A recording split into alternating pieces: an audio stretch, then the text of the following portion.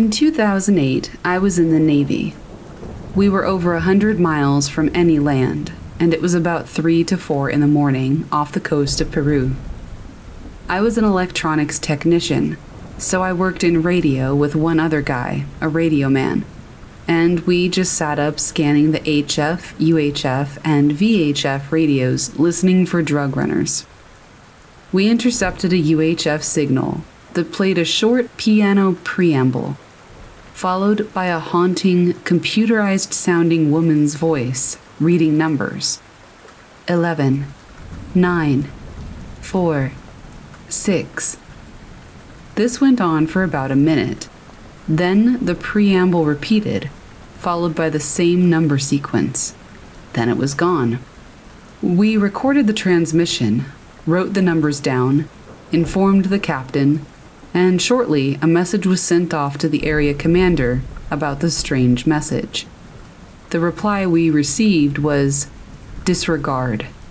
Creeped me out. I came to find out that this is a number station, and while the phenomenon is not entirely understood, it's likely a method for getting a secure message or code to an intelligence agent in the field over an insecure method of communication. Since the numbers could be attached to a one time code, it's basically indecipherable. Either way, it was super creepy.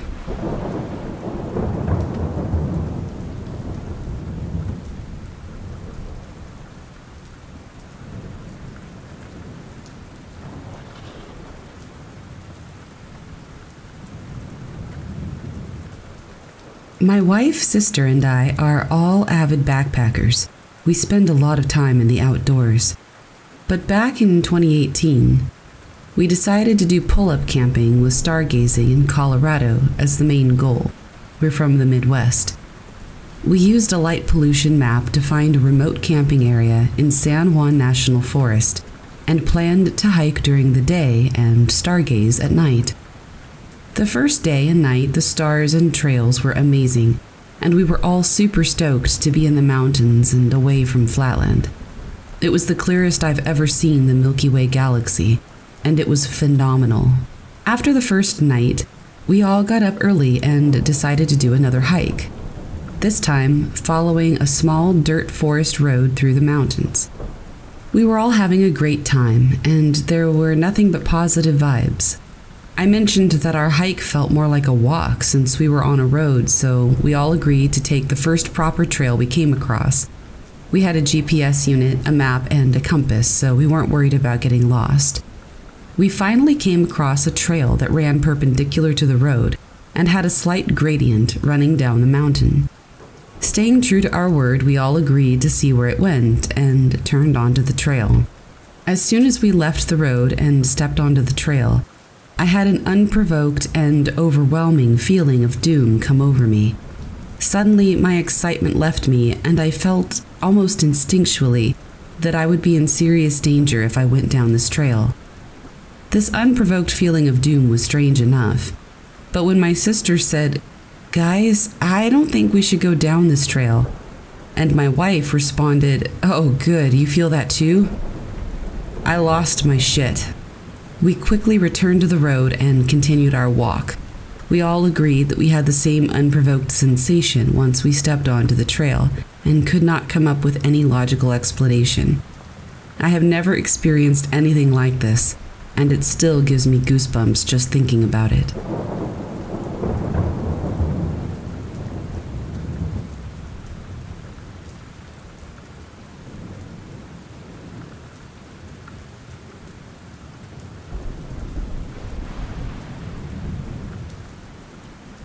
So, I'm an avid caver from West Virginia, and there's this cave not far from me that's been one of my favorites to explore. It's often my go to cave to take friends and newcomers to to get them into caving, as it's rather easily accessible and not too challenging of a cave. Although, it is a rather large cave system. The first thing to note is that there's never any wildlife seen in or near the cave and I've only ever seen a few bats for as large of a cave as it is.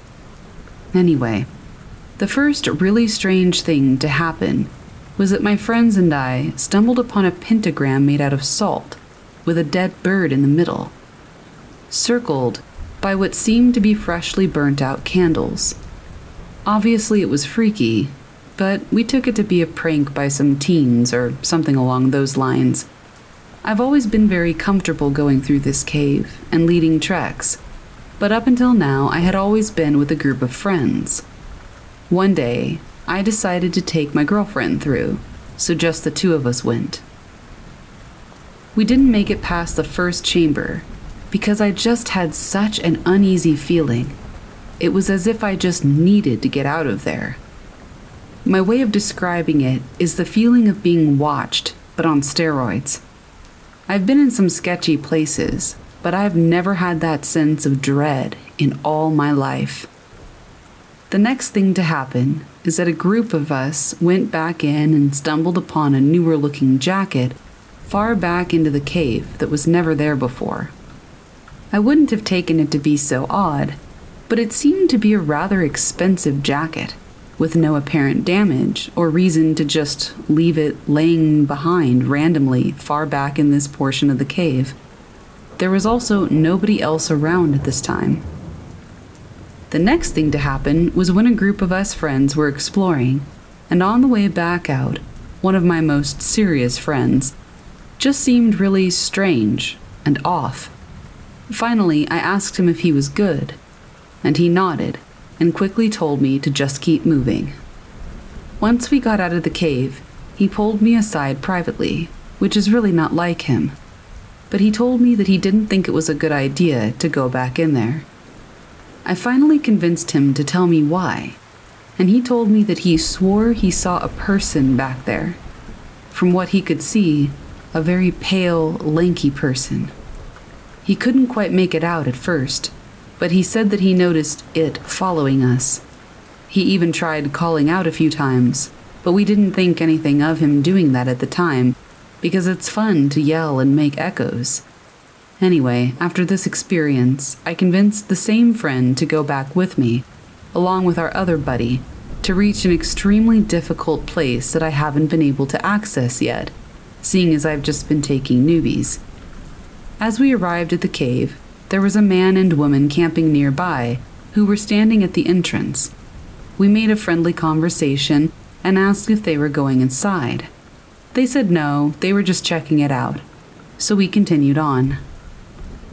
After reaching our goal and being at the dead end of a very tight spot, we laid and rested for a while. Then we heard people.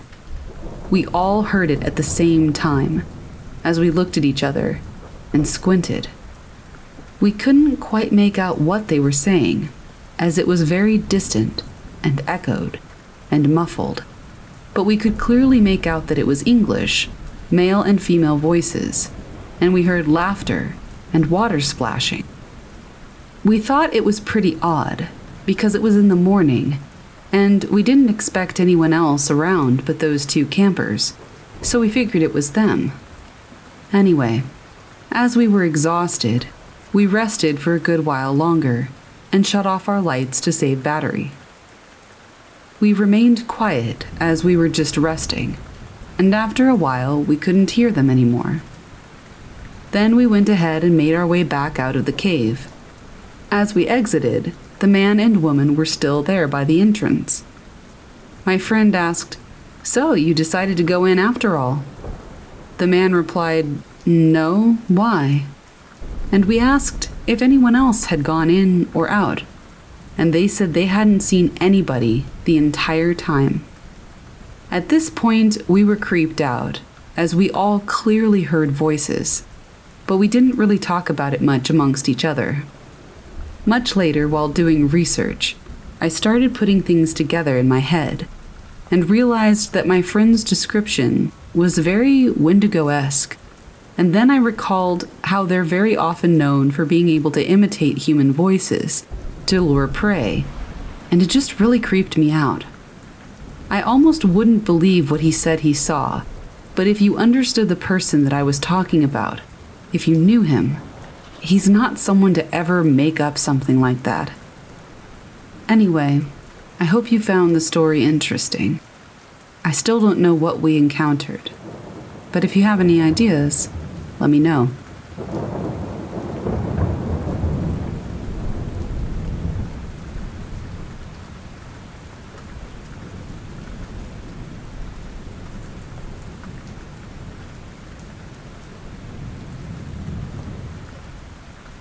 I was big into off trail hiking. I would usually track animals and find really cool spots to hang out, meditate, and smoke a bowl. I had a good friend that was into doing the same thing, and one weekend we decided to go hiking together, find some killer views, smoke a bowl, and talk about life. Well, we got lost. The road we wanted to take was closed, and we decided to follow the detour and see where it would take us. I should mention that we were in the middle of nowhere. The mountains are beautiful and are filled with hidden streams and waterfalls, but they are almost inaccessible due to the terrain. I have been out to the area many times and never encountered a single soul. Anyhow, back to the detour. The road should have connected with another arterial, but soon we found ourselves on a logging road that dead ended in the middle of the middle of nowhere. We thought this was weird, but we were like, okay, cool, an adventure. We see what looks like an old logging trail and decide to take an animal trail to the south of it. We gather up our bags and let out my German Shepherd, a rescue dog, and the best darn dog that I ever had. This is important because to get everything we needed, we had to walk around my truck. We head out about 30 minutes into the trail, and we start to feel like we're being watched. It was a bad feeling, like the kind of bad that makes your stomach drop and instinct take over. Relevant side note I left home when I was 16 and was homeless for a while. There is nothing like a situation like that to teach you how to have eyes in the back of your head. Back to the story. The forest is silent. Not a bird moving in a tree, not a squirrel. Literally, there is no noise. It is supernaturally calm. And then we hear a stick break about 30 feet behind us on the trail. We assume that it's a cougar, as they frequent these mountains, and so we kept pressing on, but the feeling doesn't pass. I motion for my friend to keep talking as I slide off into the brush and double back. I have my dog with me, a hunting knife, and some bear spray. I'm still wanting to believe that it's a cougar, so I figure that I'll be okay. As I get close to a turn in the trail, I hear some crashing in the bushes. Odd, because the forest is still silent. But again, it could be a bear, a cougar, something like that. My dog goes running toward the sound and then stops and begins growling. I figure the gig is up and I step back out onto the trail.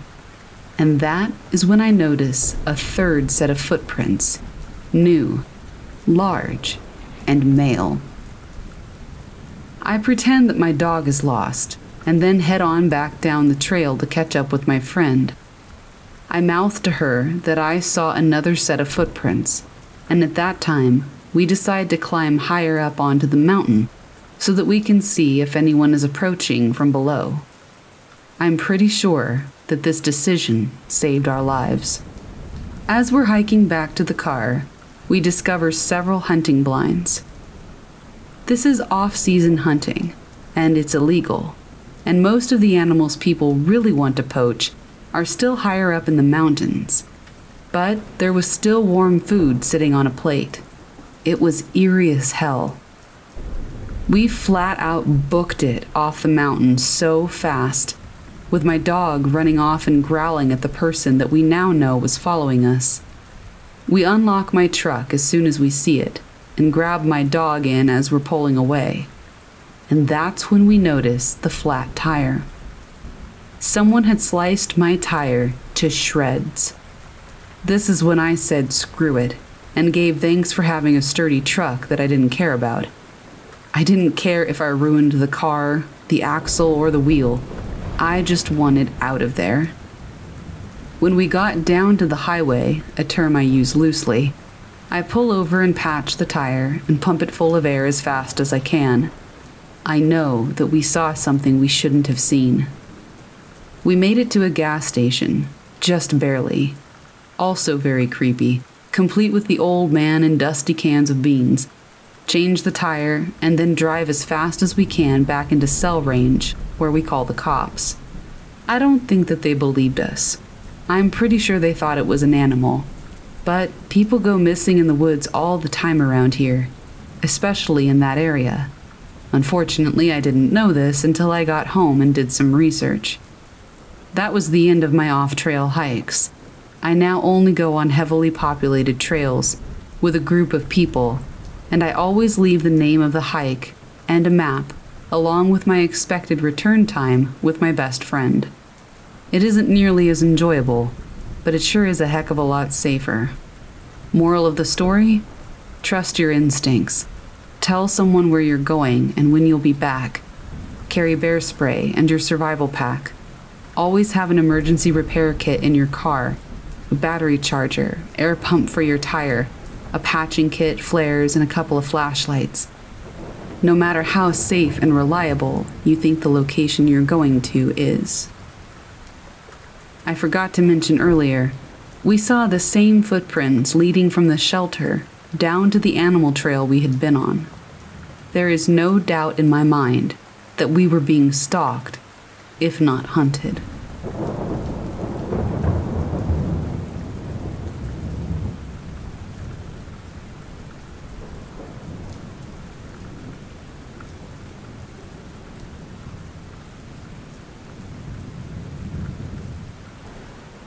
From May of 2010 to May of 2011, I worked as a security guard at a hydroelectric dam in Virginia.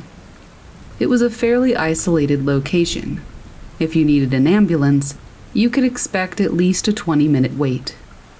About a month after I was hired, one of the guys at the dam told me that most security guards out there quit after a few days because they got so creeped out being alone at the dam at night, and that he was glad I was sticking it out. In truth, it could be creepy. Sometimes at night, when I was patrolling the basement level of the dam itself, I would think about the fact that I was 50 feet below the water line on the low side, the only human being in about a mile and a half radius. Sometimes I'd hear weird noises in the woods, or catch a flash of a shadow while I was inside the dam. It takes a lot to scare me, though, and I knew I was either hearing critters in the woods or my mind was playing tricks on me. One night, however, something happened that scared the living hell out of me. It was a little after 11 p.m., and I was sitting in the guardhouse reading a book. Suddenly, I heard a tap at the door. What was creepy about the guardhouse at night was that when you had the lamp inside turned on, People could look through the windows at you, but the glare made it difficult for you to see outside. When I heard the tap at the door, I thought it was a bug hitting the glass. It was so faint, and I knew there weren't any contractors at the dam. I had the place to myself. Then the tap came again, more insistent this time. I grabbed my flashlight and opened the door. There was no one there. Then I let the door slip from my hand and shut behind me.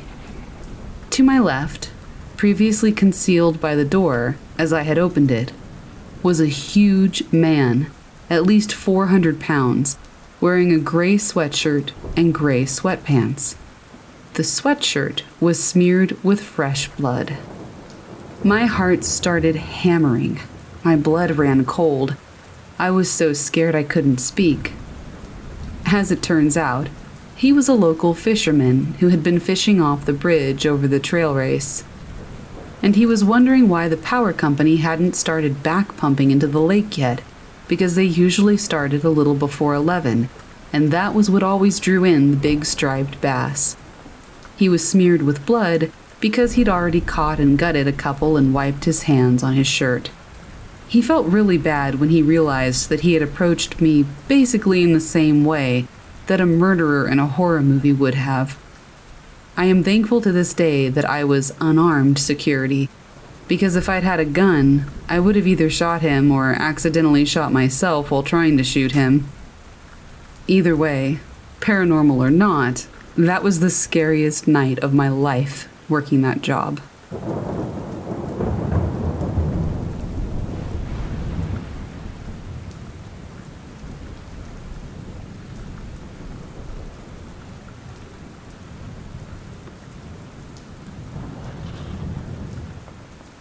About three years ago, I was on a family vacation to eastern Washington, and a central aspect of our trip was visiting Lake Paragon State Park.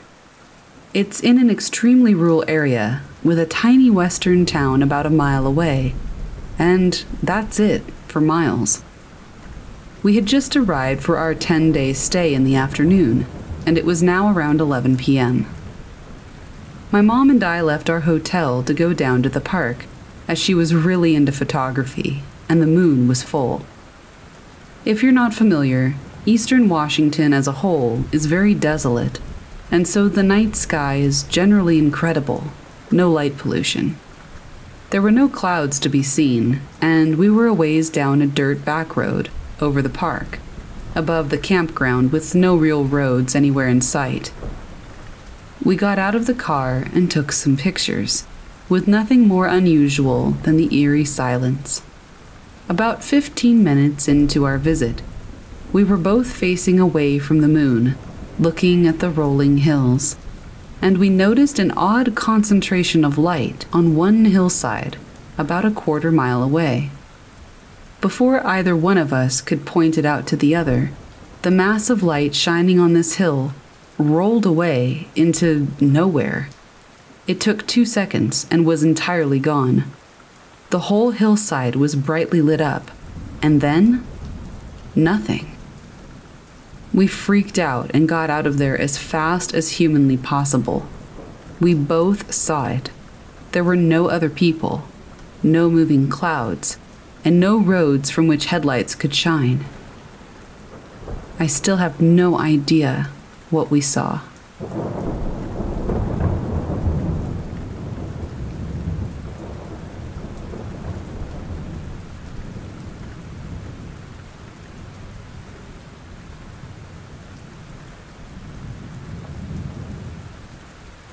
This was back when I was living with my mom, aunt, and brother. We lived in a townhouse. It was like a large house with a smaller house inside of it. My aunt owned the house, so she was alone in the larger house, which was two floors. And my mom and I lived in the smaller house. We shared the bedroom, and my brother lived in the basement. One night, my mom was in the living room watching TV. I couldn't tell you what show, but she really only watches old sitcoms, so it's a dead giveaway that this couldn't have been the TV. My brother worked as a landscaper, so by this hour he was almost always fast asleep. Our bedroom has an outside facing wall, facing the very large fenced in backyard, and behind it a small stretch of woodland bordered by a reservoir. There isn't any room for anything larger than a coyote to live there, and nothing larger is native to the area, considering that we live in the suburbs. There are mountain lions a little over an hour north, but wolves and other predators are not native at all. Around 1 a.m., I heard this blood curdling scream. Before you say anything, yes, I am aware of mountain lion screams, and I've listened to them extensively, but this was absolutely not a mountain lion. It wasn't a fox either, or any other animal that I could think of that we have here, but I'm open to suggestions if you think you know any. It goes on for a good 10 or so minutes while I lay paralyzed with fear. It sounds almost like children screaming, except deeper and more terrified. It genuinely sounded like someone being killed. The next morning, I asked my mom about it, and she said she didn't hear anything. My brother said that he did, but he thought that I was just up watching TV, or that maybe my aunt was fighting with her boyfriend. My aunt thought it was my mom having a temper tantrum. To this day, I don't know what it was, and though I don't live there anymore, it still makes me very afraid.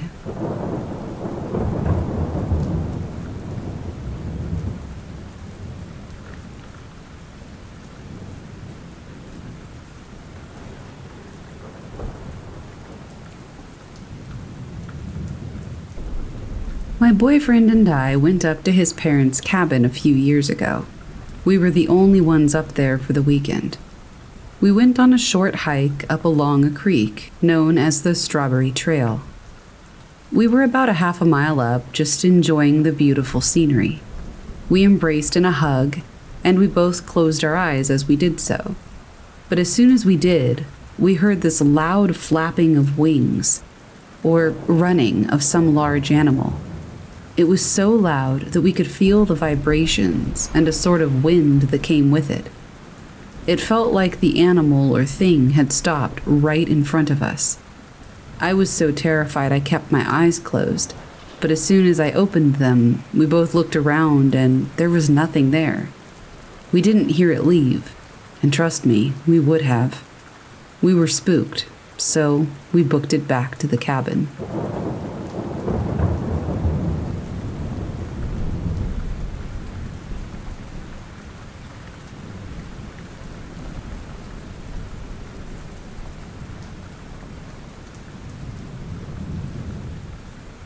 I will preface this by saying that I have never seen a ghost.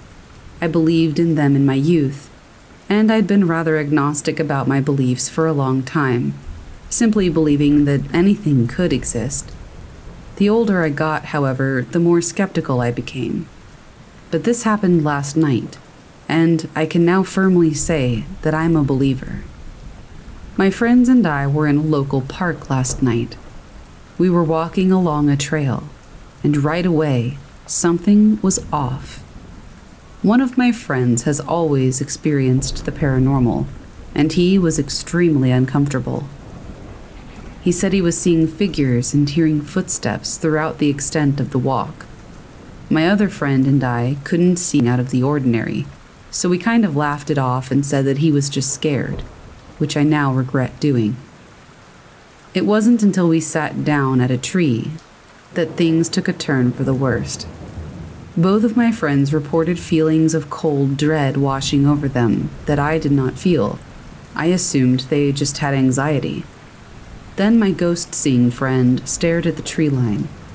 I asked him if he was seeing one, and he said yes. I looked into the woods, and I saw it. It was a small, wispy figure that had a white gray coloration and seemed to be made out of smoke or mist. It was in constant fluid motion, inverting into itself as if it was barely staying visible. It would bend from just a smoke ball to a small humanoid figure.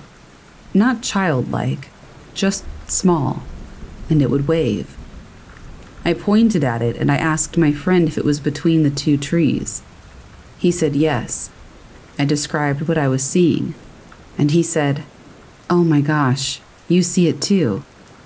We ran out of there after that. I felt the same dread that my other two friends felt, and I could not shake the feeling for the rest of the night. It's all I can think about now. I mean, what was that? It didn't feel like a dead person. I mean, it didn't feel like a person at all. It also didn't feel like it was mocking us more like it was trying to act in a way that was abnormal for it, like it was trying to be human. I don't know. I'm an ex skeptic that's now begging for answers. My friend and I both saw the same thing, and all three of us felt the same thing. So if you have any idea what that was, I'm all ears.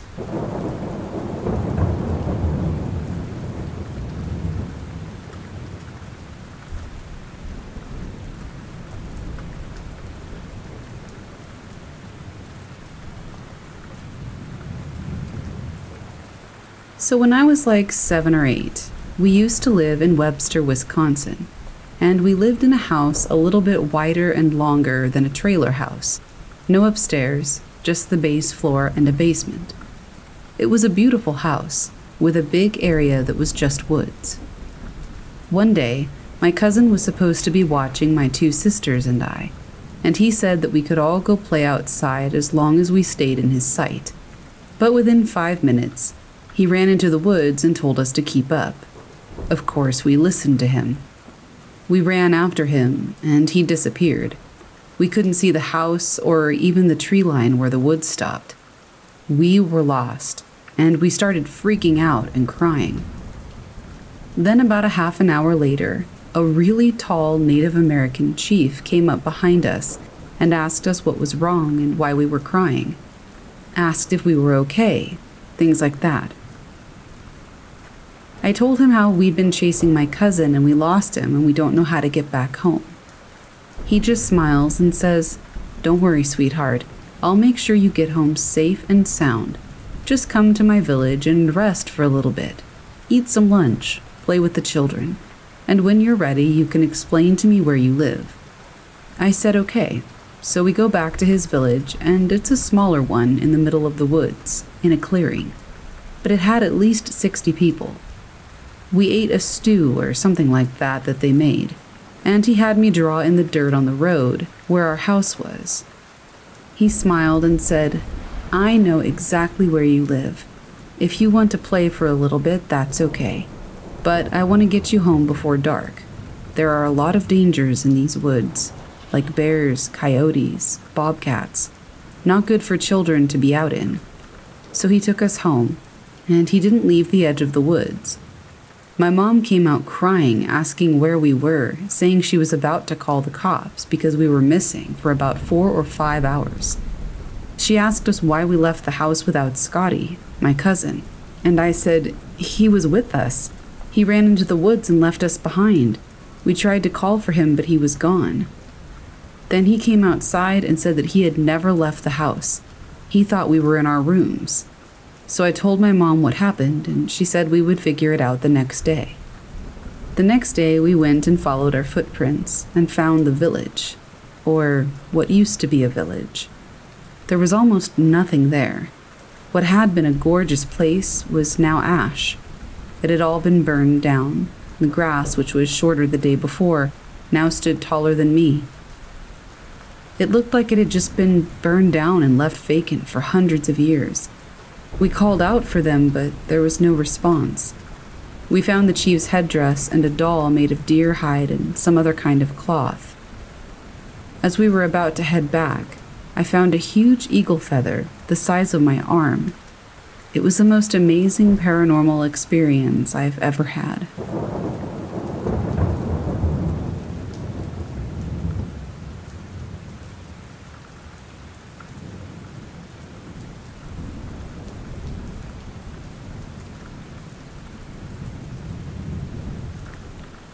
I've been dying to get this story off my chest for years to people who don't think I'm crazy, as it's rather maddening. Before I begin, I don't believe in things like Bigfoot, werewolves, ghosts, supernatural, or paranormal stuff in general, but that doesn't mean that I'm able to explain what happened this night. This was a long time ago. I was a teenager. My parents were not very strict, so I had a lot of freedom. I had two friends, and they had their own friends as well. And one of my friends' parents owned this huge part of a forest my friends, their friends, and I went deep into the woods with a bunch of supplies, and we started making our own treehouse and forts. It was a big part of my childhood, building stuff with my friends, and this place became our sanctuary for a long time, where we'd spend a lot of our time away from the adults. This event happened years after we built the place initially, and also after we rebuilt it because one time it got destroyed. But that's another interesting story for a different time. This is the backstory for all of the events that I'm about to recall. One friend and I spent the night at our sanctuary that we had built, which none of us have ever done before. We only hung out there and then went home. We all planned to spend the night together because it would be fun. Most of our friends weren't allowed to spend the night there, though, because of parents and other things, and one chickened out because he was afraid so it ended up just being me and one other person, my close friend's cousin. We weren't really close at the time, and we fought a lot, but surprisingly, we got along well that night. We spent most of the day swinging from trees, climbing them, and hanging out on this tire rope swing while talking. It was a normal day, and then we laid down for rest at about 9 p.m. About 10 minutes after laying down in bed in our sleeping bags, talking to each other under our makeshift tents, we heard rustling. I sat up and saw a very tall silhouette of something that looked to be like a human but was transparent. I could see right through it. I squinted and froze, and it very quickly climbed this tall tree, and as I was looking at it, it disappeared. I was in complete disbelief and shock. I had no idea what I had just seen, if I had seen it at all, or if I had hallucinated. I wasn't scared in the moment, just perplexed. Being young and worried, though, I said to my friend that we should leave, and not wanting it to hear me, I got close to his ear and just said, There's something in the woods looking at us. After I said that, I saw his facial expression turn to fear, so we got up and started walking down the path out of the woods, calmly. I didn't want to sprint because it might chase, and I also wasn't even sure I'd seen anything. I just didn't want to take any chances. Very shortly after we left, we both got this weird feeling of deja vu and confusion, like we'd been hit with hard drugs or something, except we don't do drugs, and we had only eaten food that we brought from our house. There are also no hallucinogenic plants in our part of the country. Nothing like that. Everything was so slow, and I felt disoriented. But we continued to walk in this direction for quite a while, stumbling in the darkness because of our mental state. I realized that we should have been out of the forest by now. I knew that this was the way out, 110%, because I'd been going in and out of this place for years, even in the dark. Yet I didn't recognize all the trees around us, just the path. It was like our surroundings were changing. My friend randomly yells, Yeah, I'm coming, as I'm looking in the opposite direction from him. I turned around, very confused, and asked him why he said that. He said that his mom was calling his name to help lead him out of the forest. I heard nothing. I told him that I didn't hear anything, and he looked at me like I was insane and walked off the path and into the forest. I grabbed his arm and pulled him back because I didn't want him to get lost. That's when my friend sees the transparent thing that I saw earlier, sitting perched on a tree branch in the direction that his mom was calling him from. He points it out to me. Its transparency is almost like a heat wave effect. We stared at it for 10 seconds in total disbelief. It looked like a transparent being, but we were trying to discern if it was something else, and we were just imagining it being alive, because there was no movement. But then, it hunched down like it was trying to stalk or be stealthy, and very quickly it climbed up a tree a little more, and then went to the next one, and then the next one, getting closer to us. We can't hear it at all. It's completely silent. And its silence was exacerbated by the fact that all the other creatures had also gone completely silent. And it was only in that moment that I had really started to realize that. Not a single bug or animal had made a sound since we started leaving camp. This is when our curiosity turned into fear, and once again, we began to see it move. Once it got above us, though, the only thing we could hear was the crunching of the branch as its weight was put down on it. Every little sound that was made was so distinct because it was so quiet and remote. We couldn't see anything because the tops of the trees are so dark. We actually started running, terrified, not worrying about being calm anymore. We heard noises in the trees above us, and finally it faded away ahead of us, as if it had gone ahead, but the sound was a lot quieter than if a normal animal had been running through the treetops. It sounded as if this thing was very light, but it wasn't very small, so that made no sense. We still kept running forward, despite it sounding like it had gone ahead, and we ended up back at the place that we started. Many, many minutes of walking, and we were back at this place after running for like 20 seconds. It was impossible. But instead of staying on the ground, we climbed to the top of the treehouse with our items as quickly as possible and closed the door, wedging a small piece of plywood on it to keep it shut. We heard something climbing up, and extremely odd noises as well, almost like the mimicking noises of rain and wind, but there was no water seeping into our treehouse, and there would have been had it been raining. And it wasn't wet. This persisted for about a minute, and then we didn't hear from it again. I'm pretty sure at that point it had left, but we spent the rest of the night there until the sun came up anyway, just in case. When he checked his iPod Touch for the first time, right after we closed the door, it was 5 a.m. We started laying on the ground at 9 p.m. Eight hours had passed in what felt to us like no more than 40 minutes of time. Hours after we could start to see the sun through the treehouse slats, we went home. I no longer talk to this friend, but after this incident, we discussed it, and we told everything from both of our points of view, and it all jived. We randomly brought it up to each other every few months and relived it, making sure that we were still on the same page about what happened and that we both remembered.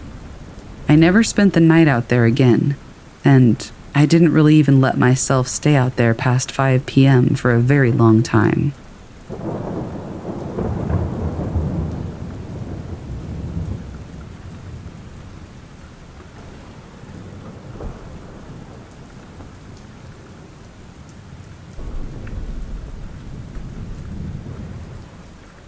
Everything happened this summer when I was working and living in the Chicago area. I don't know much about spirits or paranormal events, so I'll give you the facts of what happened, and you can come to your own conclusions. In the first few weeks of my new job, I met this really great guy. We'll call him Paul. We hit it off immediately, and one day he suggested that we go hiking in the woods. I'm originally from Russia, so I was practically raised in the woods. I spent half of my childhood in them, and I was really excited about his proposal. As we're hiking, it starts raining, like pouring rain. I've never seen anything like it. We go deeper and deeper into the forest until there are no more paths, and we're practically treading swamp water. All this time, we're just talking about random stuff and getting to know each other, while not really paying attention to the surroundings. There's no one around since we've gone pretty deep into the woods already, and it was pouring buckets. Eventually, we stumble on the skeleton of a teepee, just the bare wooden structure of it, and thought that it was pretty cool, so we kept going in that direction. Suddenly, we both hear someone crying. It sounded like a baby. It is a forest, so lots of animals can imitate that sound like deer, cubs, etc. And the cry sounded distant anyway, so we thought nothing of it and walked forward. Within seconds, we heard this thing right next to us, which seemed strange since it sounded so far away at first. It was so loud now that it could have been a few feet away. We start looking all around, even looking up into the trees, and absolutely nothing was there. It was a pretty weird situation, so we kind of speed walked in the other direction. As soon as we stopped for a break, the sound starts up right next to us again. It was like something was telling us to book it, so we did. We ran faster than what was probably safe in that kind of weather, half looking at Google Maps and half relying on memory. We made it back to the entrance of the woods. Both of us agreed that what happened was pretty weird and decided to look into the history of the place. Immediately, websites like Most Haunted Forests in Illinois started to pop up. Turns out that the place was the site of ancient Native American burial grounds. Not surprising, since a lot of tribes used to live in various parts of Illinois. And apparently, it's where three young boys were brutally murdered and left naked in a ditch. Pretty dark stuff. Paul and I went back, and I kind of forgot about the incident. Until one evening after work, he tells me that he can't stop thinking about the cry, and he wants to go back to see what was there. Naturally, I think it's a stupid idea, especially because it was already dark out. But then Paul's friend Ryan joins him for kicks. And since I'm worried for both of their safety, 20 something fresh out of college dudes can be very dumb, I come along, thinking that at least I could try to keep them out of trouble. So we hop in the car and we drive over there. Traffic is insane, and my friend takes a wrong turn, so we get there at around 11 p.m. We get out and head into the forest. Now, there's no streetlights anywhere near us, except right at the edge of the road, and flashlights can only do so much, so our visibility is pretty bad. We eventually get to a small wooden bridge that leads us across the river into the actually deep part of the forest. As soon as we cross, I start feeling uneasy. We weren't supposed to be in the woods that late in the first place, but this was a deeper feeling of guilt, like we were intruding or disturbing something that was there. Ryan, who's been leading the way and feeling all confident and cocky, saying that there's nothing out here, stops all of a sudden. On the other side of the bridge, the three of us were hit with this feeling of dread and panic, one that I've never felt before in any forest, and I've been to lots, both in the day and at night. We all exchange nervous looks, and suddenly, we hear crunching coming toward us from the dark. The feeling at this point gets so intense that Ryan, confidently walking ahead seconds ago, now looks uneasy and says, I think we should go back. We all slowly turn around and start speed walking toward the bridge. No one talks until we get to the other side. And Ryan says, I, I was just nervous because, you know, it might have been a homeless person and I didn't want to deal with that. Right. Eventually, we get to the road where our car was parked, along the side. And that's when I see a girl, maybe in her early 20s, just walking along the highway. She was wearing very little clothing and looked a little strange. Her walk wasn't a drunk one, she just seemed to be almost. I don't know the right word for it, but vibrating? Undulating? I'm not sure. But there wasn't a building around for miles, just straight road. My stepdad is Malaysian, and he's told me a bunch of ghost stories about young ghost women on the side of the road killing drivers. But I was willing to risk it because I didn't want to leave this girl all alone, ghost or no ghost, so I convinced Paul to slow down a bit when we got to her. I called out to her from the passenger window, asking if she needed help. The girl slowly turns around, and with the creepiest, slowest smile spreading across her lips, she nods. I was hit with that same feeling that I had gotten back there in the forest and almost regretted slowing down. But whatever, my sense of wanting to help that girl was greater than whatever weird stuff I was feeling. And if I died, well, at least I'd have a clean conscience. She gets in the back of the car, right behind my seat and next to Ryan, and he just starts to chat her up, flirting, asking her where she's from and what she's doing. Typical. All this time, I'm turned halfway around keeping an eye on her because I feel like as soon as I turn around and face the road, something bad is going to happen. She's keeping steady eye contact with me the entire time, even when Ryan is talking to her, with that slow, creepy smile, while slightly undulating. I still don't know what to call it, but it seemed snake like. Ryan asks her where she's coming from, and she says, Oh, just around. He asks if she's coming from a bar, and she nods her head yes. Except there's not a single bar anywhere even close, not for miles and miles. She said she was walking home and gives Paul an address, which is 15 minutes away by car along nothing but forest. My eyes literally hurt from keeping eye contact with her, and she just keeps smiling and undulating and giving off this feeling of dread. This feeling just keeps increasing, so eventually, we drop her off at her street. There are lots of old looking, smaller houses there. When I turn back to look at her a second later, she's completely gone. I couldn't sleep that night. I kept imagining her creeping up the stairs, her smiling face undulating from the shadows.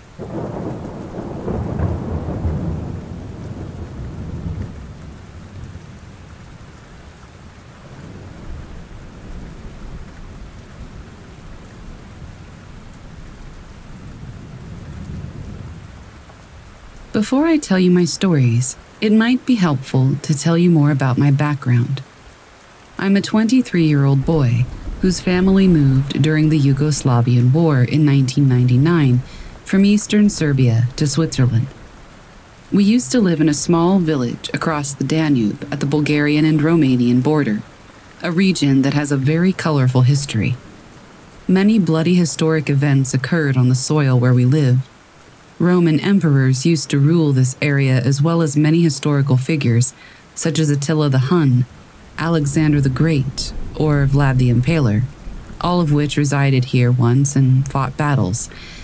The region has been occupied many times, the longest used to be under the Ottomans. This occupation lasted for almost three centuries. After the Ottoman occupation, the country didn't have much time to recover, and the First and Second World War had struck the country already. Many people died during the First World War, about a third of the population. As a result, guerrilla groups like Chetniks, partisans, etc., were formed, killing even more people. In conclusion, many people were unjustifiably tortured and lost their lives, which is probably why there are many occurrences of the paranormal here. Magic is also very common here. The so called Vlach magic or Vlaska magica, involation, is said to be one of the strongest in the world, and many people tend to practice it and religiously believe in it. As a result, there are many stories about paranormal events. One of my favorite ones is a story my grandfather told me. He grew up in the forest in a small and old house about 300 years old. He was adopted by my great grandfather, who used to be a leader in one of the upcoming resistance movements against the socialist regime after the Second World War. He fought in both world wars, and even with all this, he took great care of my grandfather and loved him as if he was his own child. Fifty years passed since he left his home, and all of those people living here died, but my grandpa still visits this house and stays overnight there. This place creeps me out. Even during the day, there's an aura to this place that just makes it uncomfortable to be there. I can't imagine staying there overnight, but he frequently does, and one day he told me a very strange story. While he stays there, he says he often gets visited. At first, I thought visit like the ones you get from neighbors or something, but he told me that one night he woke up to a hand crawling over his head. It was a huge, white, pale man kneeling next to him and sort of crawling over his head, speaking with a calm voice in Vlaski, the dying language that we used to speak here which is a mix of Moldavian and Romanian. He told me that his skin was white and that it was glowing in the night. He didn't have any hair, and the hand felt very soft. My grandfather has always respected the dead and was never really afraid. He told me that he didn't really speak to him and just enjoyed his company, since he knew in some way that he wasn't evil. Another time, he told me that he used to fix small parts around the house when it started to get dark, he slowly began getting ready to leave his tractor because it takes like an hour to reach the next civilized place. While putting stuff back into the barn, he heard loud noises in the attic. It didn't bother him until a plank was thrown down the stairs. He recalled one time they even threw down a rock into the wheelbarrow that he was pushing into the barn. He told me he just turned around, locked the barn, and didn't even frown. They expect you to react, he said. Don't give them this pleasure. He told me this while laughing, then said, It makes them go crazy. Growing up, I heard a lot of these stories, and it really does run in our family, having these experiences from time to time. The scariest thing that happened to me occurred during the summer of 2009. My grandfather told me during this summer break, as usual, stories from the past of how he used to walk these woods alone in the dark and what he experienced while doing so. And since I was in my teen years, I started to question the reliability of his stories. From time to time, I took out my old motor bicycle and drove it out into the forest. Driving around was the only time I could really think about stuff and, you know, be in this type of state where you question everything and think about the world. So one day, I took out my bike and decided to drive around. I still don't know why or how, but somehow I found myself driving to the old house that he grew up in. I didn't really bother to question why my intention was to drive there, so I just kept going. I always believed that I was a kid, pure by hearth, and no evil could ever come to me. While I was driving out, I thought about the probabilities of actually encountering a vampire. I live, as I mentioned, in East Serbia, where vampires are still widely believed in. My grandpa always told me not to go out past dark, but I didn't really care, so I still kept going. Remembering back, I thought that his intention was to keep me scared so I didn't get lost in the woods. But being a teenager at the time, I thought I was invincible, and in fact, even if a vampire did cross my path, that I would pass by him with no harm. There aren't really streets there, it's just a dirt road between trees that leads to what seems like nothing. After an hour, even the dirt road started to vanish. While I was driving and thinking about how strong I was, I noticed that my hand felt very wet. I thought it was because I was sweating, since this region can get very hot. After taking a look at my hand, I saw that there was blood all over it.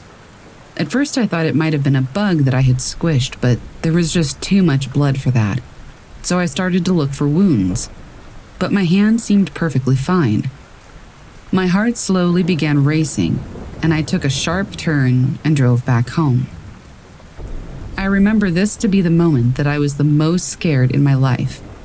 I had the urge to look behind me every second that I was driving through the forest. It felt like someone was sitting behind me just waiting for me to fall down.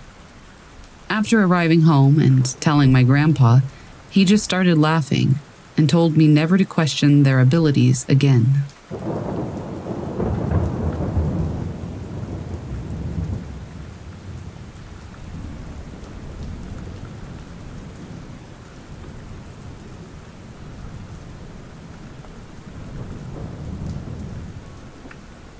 Happened a few years ago. I remember it was winter because it was really cold and snowy outside. I was left alone in my family's cabin while the others went Christmas shopping for food and last minute packages for some friends. I don't remember all the specifics of why they went out, but that's not really important. My point is, I was all alone in our cabin, playing some games on my phone while listening to some music on the radio in my room on the first floor of the cabin. I remember that suddenly I got really cold, so I went to go get a blanket that was on our sofa. Just when I was about to get up and grab the blanket, I saw some kind of shadow from my peripheral vision. I didn't really care that much about it at the time, because I thought maybe it was just my imagination playing a trick on me, because I really don't like being home alone in general and especially not in a cabin on a mountain in the middle of winter. I got the blanket and went back to my room to play some more games. About an hour passed, and I had forgotten all about the strange shadow until I saw it again. But this time it stayed in my peripheral vision for about three to five seconds before it went away again.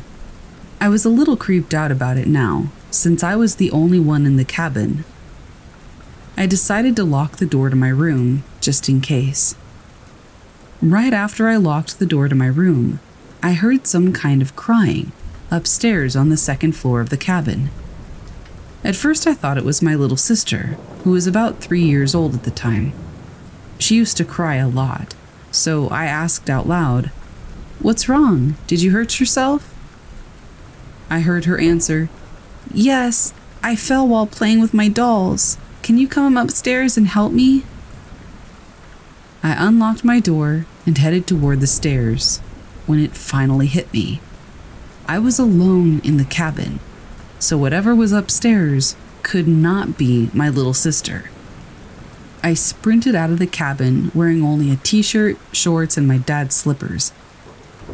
It was freezing cold outside. I stopped running about 150 meters away from the cabin and looked at it from a distance. In one of the windows on the second floor, I could see a shadow just standing still, and I got the feeling that it was staring at me, even though I couldn't make out any eyes.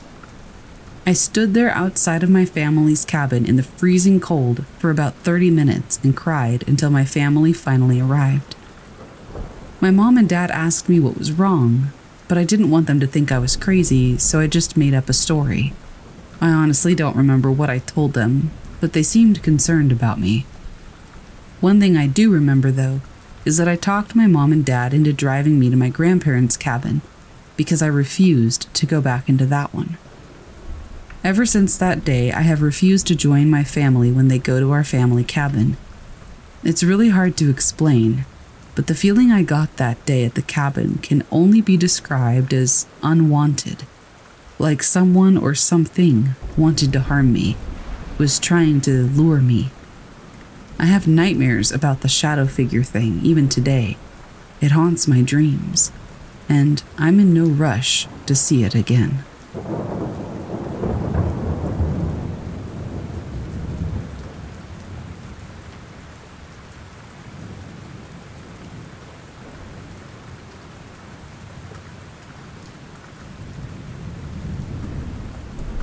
I live in a super rural area and walk my dog outside in the dark every night. Tonight, I was walking her later than usual, and things felt very off. First, we went outside, and I walked no more than two feet away from the door and felt something wet under my foot. I checked my shoes, and there was a slug in the middle of my shoe. It didn't look like a normal slug, but I don't know what else to call it. I have no clue how it got there, because I know it wasn't there when I put them on. As I'm trying to figure out what the hell is in my shoes, my dog starts freaking out and growling at the house across the street. She does this somewhat commonly because they have dogs that attacked her once. So I didn't think much of it and went inside to get another pair of shoes. I walked back outside and was immediately struck with the feeling that something was wrong. The first time I was out, I heard weird, quiet music, but just thought that the neighbors were playing something. This time, the music was gone, but there was this incessant, high pitched shriek periodically. My dog and I literally stopped. Just stopped and stood for like a minute, listening. There was this periodic shriek, and then another sound, like a high pitched bark Definitely not a fox. I know that sound. And none of the dogs in the area bark like that. This sound would happen every now and again. The worst part was that everything else was dead silent. If you live in the country, you know that it's never silent, not even in the winter.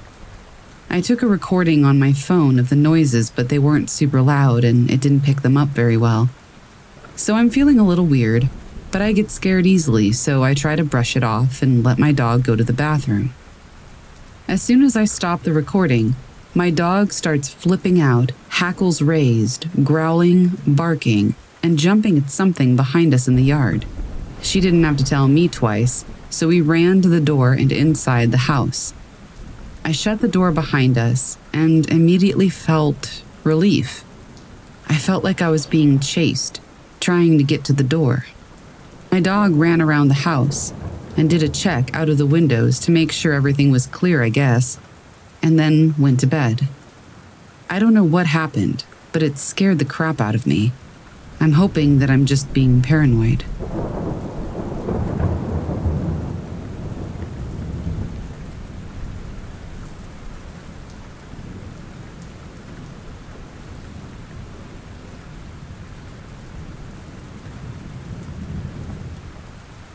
Was on patrol one night in my town, and we were told to go to some weird place that none of us had ever heard of.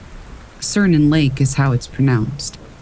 I haven't been able to find it on any maps after the fact, and we had to be directed by dispatch to a back road, which was barely visible from the highway.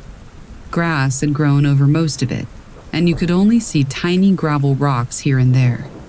We're no strangers to small towns out in the middle of nowhere, seeing as there's a ghetto calling itself Lake Annette nearby. Anyway, someone had reported a woman screaming inside of a motel, and two men had gone into the room and not come out. Naturally, this sounds like a pretty big deal. So, we're sent out there and being guided over radio by dispatch. When we get there, it's basically just a set of eight buildings, one of which is a gas station. There were no pumps, and it was basically just a house with a concrete drive in. The motel is the closest thing to the road. A bunch of people, maybe about nine, were standing outside the motel. Most of the lights inside were on, and at first we didn't hear any screaming. We tried briefly to talk to the people outside about what was going on, but everyone said something along the lines of, I don't know, I just woke up because of all the screaming. Seeing as this was a potentially dangerous situation, I drew my taser and my partner drew his service pistol in case the taser didn't work for whatever reason. Thick clothing, probe going off too far to one side, something like that. As soon as we open the front door to the motel, the screaming starts up again. It was incredibly painful to the ears and caused us to run to the room from which it was coming. We yelled in that we were the police, and we went in. As soon as the door is open, the screaming stops. Just gone. The room looks completely ransacked, scratches on the walls. No blood, though. Nothing seems to be missing, just misplaced or damaged. The bathroom was completely clean, no scratches. Closets were empty. We looked under the beds, even, and nothing was there. We poked around for as long as we felt was necessary and radioed in that we didn't find anything. We waited for other people to come out and help. We left and went back to the station and wrote up written reports. We still have absolutely no idea what happened. Investigators don't have any idea, and we haven't heard anything from the lake town since. I've been having sleep paralysis fairly frequently, hearing scratching on the walls and footsteps, as well as nightmares. None of this happened until we went there. I've been working with a psychiatrist to deal with it, currently trying Ambien to see if it'll keep me from experiencing sleep paralysis. I've been tempted to go out there again on my own time, but I haven't been able to work up the nerve. Our department can't afford body cams for everybody, since we're a small town department. We can barely afford repairs on our vehicles, so we didn't get any footage. I have no idea what this might have been. I'm leaning towards some kind of elaborate prank, but it just seems odd. Like, it would have taken way too much effort to actually fake it to be worth it. We've seen the guy who owns the so called gas station coming to our gas stations and filling up gas cans. He puts them in the back of his pickup and drives back toward the highway with them. I also asked around, as the post office said that they do occasionally get mail to and from there, but it's mostly tax stuff. I haven't been able to find it on any maps, the view is blocked by trees on Google Earth, and you can't really see the turnoff on the highway. I've been having trouble finding really any official records related to it, aside from a case file from the early 90s, before I was even born, about a textbook domestic disturbance.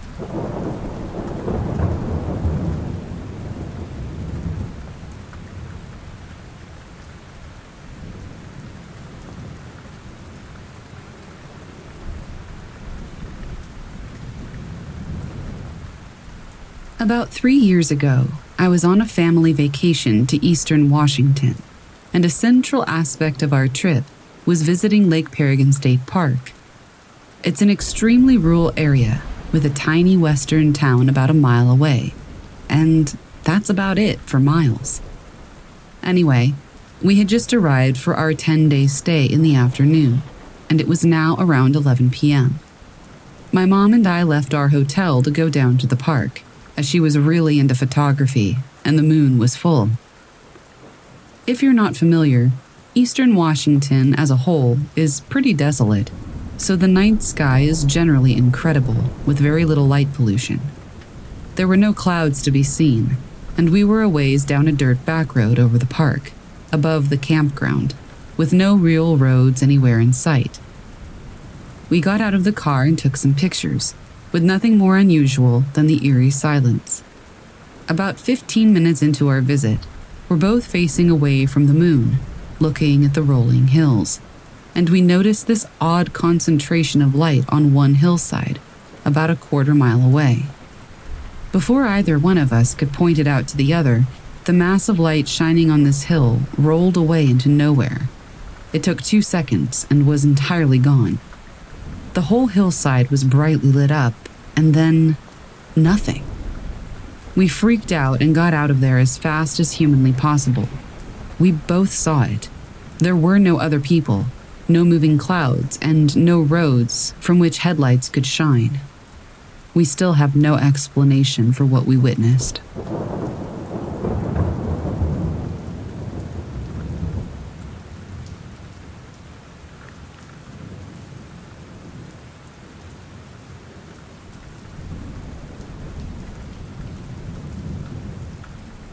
It was around 10 p.m., and my friends and I decided that it was a good idea to play hide and seek at 11 p.m.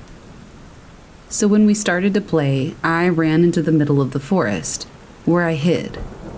Around a tree, I saw a woman in a white dress just staring at me. Obviously, I got scared and ran outside of the forest. On the way out, I got a cut that was about three or four inches long on my left hand. I only saw it when I was clear of the woods. When my friends got the balls to do it and go in there, they saw her too. We all ran to the highway, which was about 200 feet away. The night passed and we didn't play anymore, but I had a camera at home, which I didn't use anymore.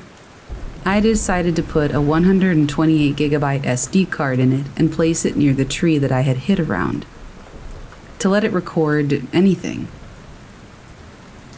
When my friend went to get it, he said that the woman appeared on the camera until 3 a.m., when she suddenly disappeared.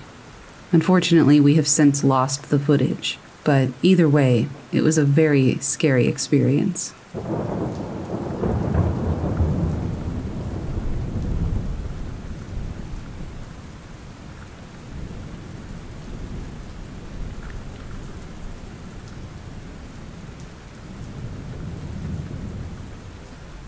Lived in Germany for many years while my father was stationed there in the U.S. Army. We lived off base in private housing, and I loved it. That country is amazing. The vast forests, the mountains, the countryside, the farmlands, the little towns, everything. I quickly became really good friends with some local boys whose parents owned the town's dairy farm. We were always in the forests running around and exploring, fishing, playing army, stuff like that. I was around eight or nine years old at that time, and I'm over 40 now. One night, I stayed late at the farm hanging out with the guys. I left at about 9 or 10 ish. It was dark, but the moonlight gave pretty good vision. I lived just across the soccer field, and then across a small cornfield from the farm. As I'm walking through the soccer field, I see a bit of movement just really quickly, out of the corner of my eye along the tree line at the edge of the field. I quickly stepped up my pace. As I turn to take my usual path through the cornfield to my house, I see at least a half a dozen silhouettes emerge from each side of the rows of corn on the sides of the path. I froze. They just stood there, and then all of a sudden, there's one standing behind me. Before I can snap around and get out of there, he asks in German where I'm going. I turned around, and what I see surprises but also relieves me. I answered in English and told him I was headed home. He was then curious about my English. Turns out it was a team of special forces operators. I mean, these guys were decked out so much in tactical gear, I couldn't comprehend how they were able to move so stealthily night vision goggles, packs, bags, weapons. There was even a dog. They looked like total badasses. Apparently, they were using these small towns to do some off base training. I just happened upon them this particular night. I will never understand why they chose to break cover and show themselves. They could have easily just stayed put, and I would have walked right by them none the wiser. But they all walked me home as it was on their way back. It started off super creepy, but it was actually pretty cool.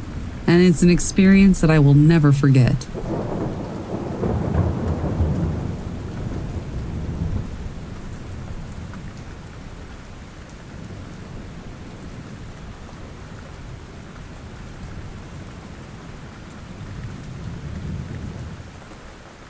I went for a casual night walk in the woods with my friend. We were walking along the path, along the river, and talking. Then we decided to stop for a while and sit on a bench that was right there next to the path, facing the forest. The river was flowing behind us. We were sitting there for quite a while, just talking about random things. I suddenly started to hear a soft tinkling, like a small bell ringing, almost like a bicycle bell or a dog's leash, every now and then. I didn't pay much attention to it at first, but it kept getting closer and more frequent. So I told my friend about it. He confirmed that he could hear it too, so I started to listen a bit more closely. I looked in the direction that it was coming from, expecting to see somebody riding a bicycle or walking a dog at any second.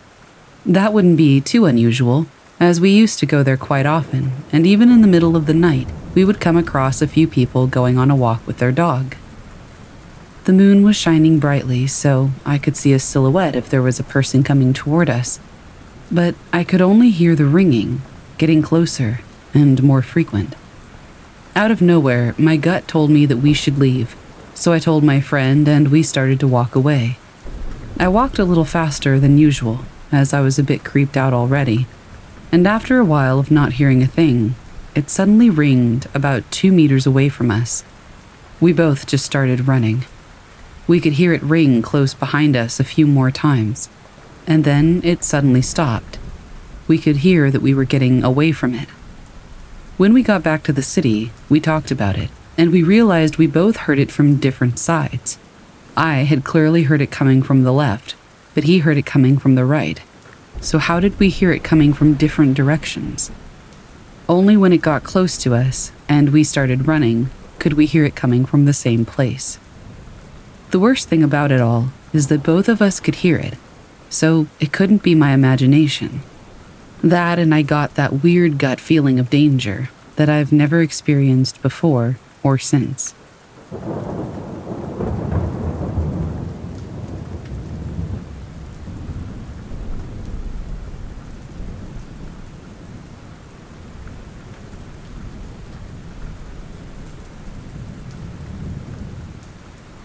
I was hiking a section of the North Umpqua Trail in the northern part of southern Oregon a few years back with my sister in law. It's a 72 mile trail broken into sections that can be easily hiked in a day. At the time, I lived about midway up the trail, fairly remote, in a small community. It was mid fall this one day when we set out, the trail was running along the south side of the North Umpqua River and was pretty up and down in the beginning. We made it to a fairly flat section that was running just above the river. There was this beautiful view of the river through the trees, so we stopped to get some pictures and take a water break. I immediately felt extremely uncomfortable, like somebody was watching us. I slowly turned my head to look behind us, across the trail, and up. At the top of this very small incline, I could see a small meadow through the trees. Across the meadow, maybe 15 yards from us, was a tent, an old canvas style tent. As I'm looking, I notice bones strung from the trees all around the meadow, like creepy death wind chimes. My stomach just clenched and dropped. I leaned into my sister in law and whispered, do not, not turn around and look behind us. Just continue walking up the trail and run when I tell you. We were close enough to the river that nobody who wasn't immediately next to us could have heard this. She did exactly as I told her to do, setting off at the brisk walk we'd been at before. We got maybe 10 yards, and I could hear footsteps through the forest floor coming from behind and slightly above us. That part of the forest is very dense. There's thick moss cover under the trees, so footsteps on it make a very specific sound. I leaned forward and told her to pick up her speed. She did. I did. And so did whoever was behind us. I leaned forward again and told her to run as fast as she could and not to stop until I told her so. For two middle aged women, both slightly overweight, we ran like the wind. I just kept telling her, Go, go, go. I could see ahead of us that the trail had an incline and then veered to the right along the river and around a cliff. I knew at that point that whoever it was was going to have to come down onto the trail or stop. We kept running. We probably ran at least a mile after that, even though we could no longer hear anybody behind or above us. That section of the trail was about nine miles, and we weren't halfway when this happened. We eventually slowed down, but just hurried as fast as we could the rest of the way. We had arranged for her younger brother to pick us up. We made it to the next trailhead fairly early, so we made our way out to 138 and started walking east toward home, knowing that he would find us. He did, and was shocked at our story. We got home and immediately called our local sheriff, who lived just above us at the ranger station. He came to the house and heard our story. He explained that it might be a day or two before they could get on the trail, as they had a missing hunter at the time that they were searching for. So a few days go by, and he shows up at our house to let me know that we weren't crazy or imagining things, and that somebody really did chase us. I asked what they found and who it was. He looked at the floor and then looked up and said, I'm not going to tell you what we found or who it was, because if I do, You'll never hike anywhere ever again. What we found was not normal, and it won't happen up here again. He then instructed me to never, ever hike unarmed again. I never found out what they found or who it was. I never hiked that section of trail again, and it completely burned last year. I also never hike unarmed, ever. That was huge for me because I wasn't really a gun person at the time.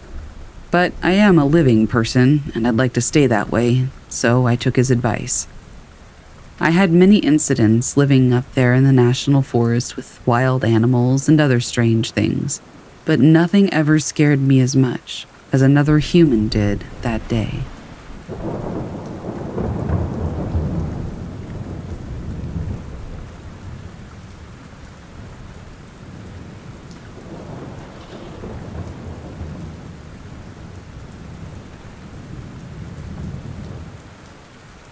Was young, I attended the local scout group based in my village in Hampshire. The amount of things that I learned from scouts and the lessons that it taught me are innumerable, but one particular memory stands out. Once on a camp at an old scouting campsite, I remember we were playing a game at night, which was World War II themed. Our leader loved creating military themed games. In this game, each team had a bomb a colored string of wool, that they had to fix to the enemy base, which was a random piece of rope that was put up in the woods, making sure not to get caught by the enemy soldiers, which were the leaders carrying flashlights. As somewhat of a tactician, I departed from the other scouts, who were heading straight down the main path toward the enemy base, and also toward the leaders, instead, opting to flank around deep into the woods which took longer but proved to be more successful in the dark. Eventually, deep in the woods and on my way to another bombing run, I heard the distant sound of the whistle. This signaled that the game was over and that everyone should return to the camp. I began making a leisurely stroll back through the darkness. I can't remember if I was alerted by sight or by sound, but my attention was drawn to a short silhouette walking through the woods about six to eight meters away. Assuming that this was one of the younger scouts who was also returning to camp, I decided that it would be funny to try and scare them by making growling noises. Immediately after making the noises, the silhouette stopped dead in its tracks, turning toward me. In the darkness, I couldn't make out any of their clothes or features, but I could clearly see the blacked out silhouette of a child. After the figure had clearly noticed me but not made a sound, I decided to carry on making growling noises. But then the silhouette just turned around and began to walk away from me. They were clearly unfazed by my attempt to scare them, so I figured that I would just follow them back to camp. However, after a few steps, the figure literally face planted into the ground, still about eight meters in front. I jogged a bit to catch up with them and make sure they were okay, but upon reaching where they were, there was no trace of anyone. Confused, I looked around for a short while, seeing if they had scrambled off, but there was no noise of someone running away, and I didn't notice them get up. They had just vanished. Still in a state of confusion, I continued to walk back to the camp alone. I didn't really tell anyone until years later when it clicked in my brain that things just didn't add up. Something else that sticks in my memory from that camp, which is probably unrelated but still strange, was that part of the woods had been cut down and the grounds heavily churned up by some sort of heavy duty machine. Whilst exploring this area, some of my friends and I found an old leather briefcase that looked like it had been churned up by whatever machine had been in the area. Upon opening the briefcase, we found a really old scouting uniform. Think sand colored in military style with shoulder lapels, with quite a few loose badges and some other personal items that I can't remember. I don't know if it was related to the boy or not, but it's still kind of strange.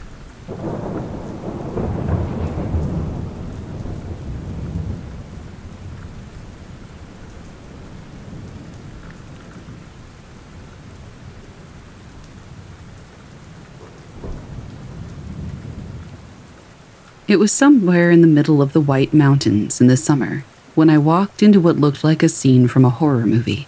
A person with zero hiking, camping, or other experience had gotten themselves into trouble.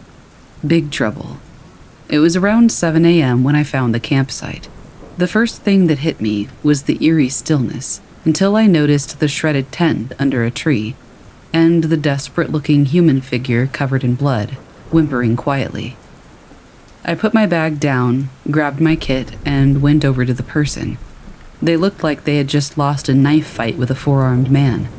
Deep slashes from one shoulder to the hip, single punctures up and down his back, and hands and forearms full of what looked to be defensive cuts. I patched him up the best I could, gave him water, checked my map, and hightailed it to the closest road. This was before cell phones were super prevalent and barely worked in the mountains. Thankfully, the road was very close by, less than two miles, and I was able to flag somebody down. They took off, and I waited for assistance to arrive. It took about an hour until rescue got there. I led them to the still unidentified individual. He wasn't very conversive when I first found him. I was sure he'd be dead before we got there, but I was wrong. I assisted rescue bringing him out and took them up on their offer to head into town and get cleaned up. After cleaning up and getting myself situated at their station, I went on my way, leaving them my number to call to let me know what was up with the person that we had helped. I got home three days later, and there was a message on my machine. Story goes that the guy I found decided to go camping one day and heard that he had to keep food hung from a tree to keep bears away. Well, he did that, but he put it almost directly over his tent, and not high enough. The night before I happened upon the site, a bear had used the tent, and its occupant, in an attempt to climb the tree to get the food. The guy had woken up to four black bear paws sinking into his body, shifting to reach up. The guy survived and swore to the hospital staff that he was moving to the city and never going into the woods again.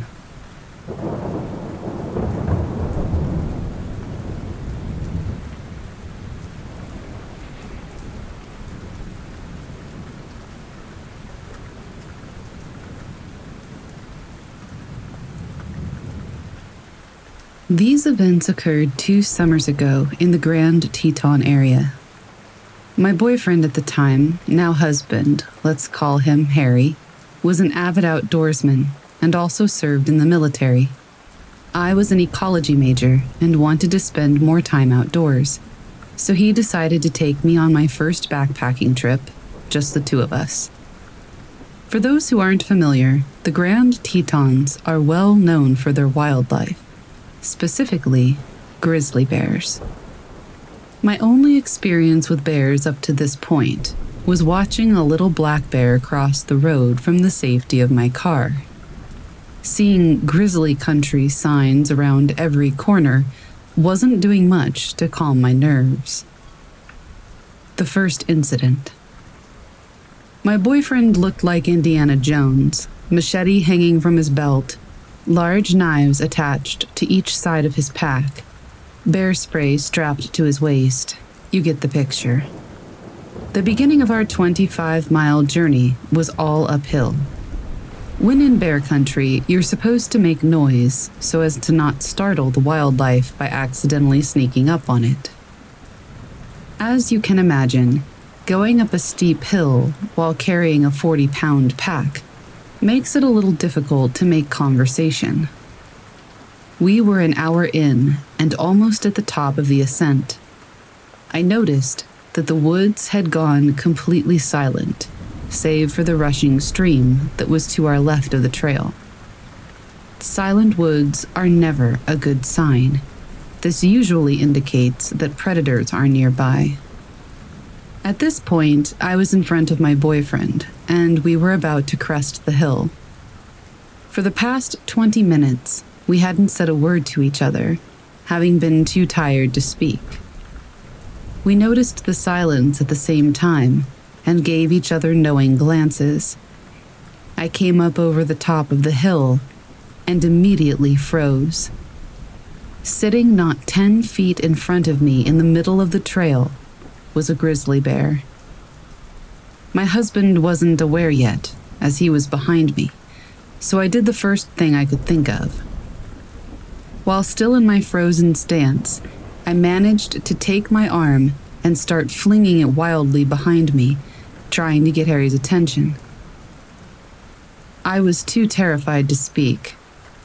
The bear went from sitting to all fours, not looking away from us once. Harry quickly swung me around so that I was behind him, and he just started yelling. Being in the military, he knows how to yell. The grizzly wasn't quite fazed as it started to walk slowly toward us. At this point, I was on the verge of passing out from terror. This bear was about five feet in front of us when we heard a loud crack coming from the woods to our right. The bear heard it too, and he bolted toward the stream. A second crack boomed again, this time much closer than before. My boyfriend said, It's probably just some falling branches. But we both knew that wasn't the case. At this point, we were walking quickly up the trail in an attempt to create some distance from the grizzly and those strange noises. I felt the hairs on the back of my neck stand straight up, and at the same moment, my boyfriend stopped moving in front of me. He turned around to look at me, and I turned around to look behind me. To this day, we're not sure what we saw. Back where we had been standing was a large black brown mass. It looked to be three times bigger than the already large grizzly that we had seen just a few moments before. Its back was facing us, and then it stood on its hind legs. It looked similar to a bear, but something about the shape was just off. At this point, it was probably stupid to run away, but that is exactly what we did. We were aware of heavy footsteps behind us, but neither of us looked back. The footsteps eventually faded. At this point, I was a mess. My boyfriend was doing his best to console me. Honey, this is extremely unusual. The bears usually stay away from humans. We're going to be okay. I'm sure that won't happen again. That was enough to convince me to continue on the backpack. Not another hour later, though, we reached a clearing where we decided to take a rest and have a snack.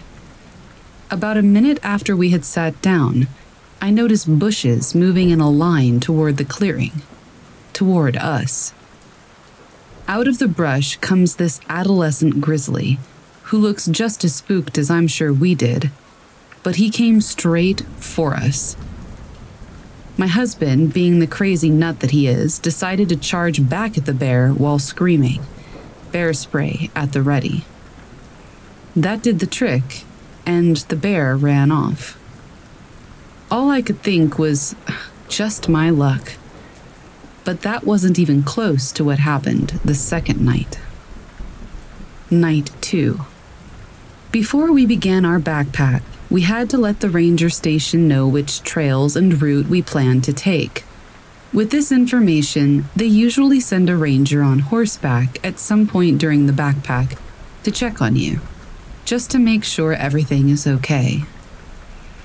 There weren't many approved trails left for us to choose from, and it was just our luck that they were the most difficult. Apparently, over the three days that we were on those trails, we had been the sole hikers. We didn't see a single other person once we were en route. However, I guess we missed the ranger who came to check on us. We had been following hoof prints the entire second day, and we hadn't seen any the day before. I had some foot problems, so we spent valuable daylight trying to adjust my boots, laces, and socks to compensate for the pain. When we started on the trail again, we had maybe an hour or two of daylight left, and in the woods, it gets dark fast. I was exhausted. It was now dark out, and Harry was the only one with a working headlamp, as mine wouldn't even turn on for some reason. We needed to find somewhere to set up camp, as we still needed to eat. It was freezing, and the wind was blowing. It was creating a howling sound as it rushed through the trees, which made it difficult to hear Harry or discern any other sounds coming from the woods. After another hour of hiking through the dark, we found a clearing. Well, it was more like a bowl it looked to be about 200 meters in diameter, with the sides being about 10 meters down from the trail to the bottom of the clearing. This place was strange. We both felt it, though he didn't tell me how freaked he was until after we had left. There was no moonlight, so all we had was the illumination from his headlamp, our small camp stove, and the flashlight that I had fished from my pack. Half of the trees were dead or fallen, but just in the bowl. The vegetation everywhere else was very dense. To help alleviate my anxiousness, he started playing some music out of his portable speaker. This didn't help much, as it just echoed off the trees, creating a dissonance of sounds. He also thought that it would ward off any predators nearby. This is when we knew our anxiety was not paranoia. The silence was back. There hadn't been a single bird chirp since we arrived at the clearing. It also may have had to do with the obnoxious music, but because of our previous experience, we decided to turn off the music and head into the tent. Aside from everything else, it was freezing.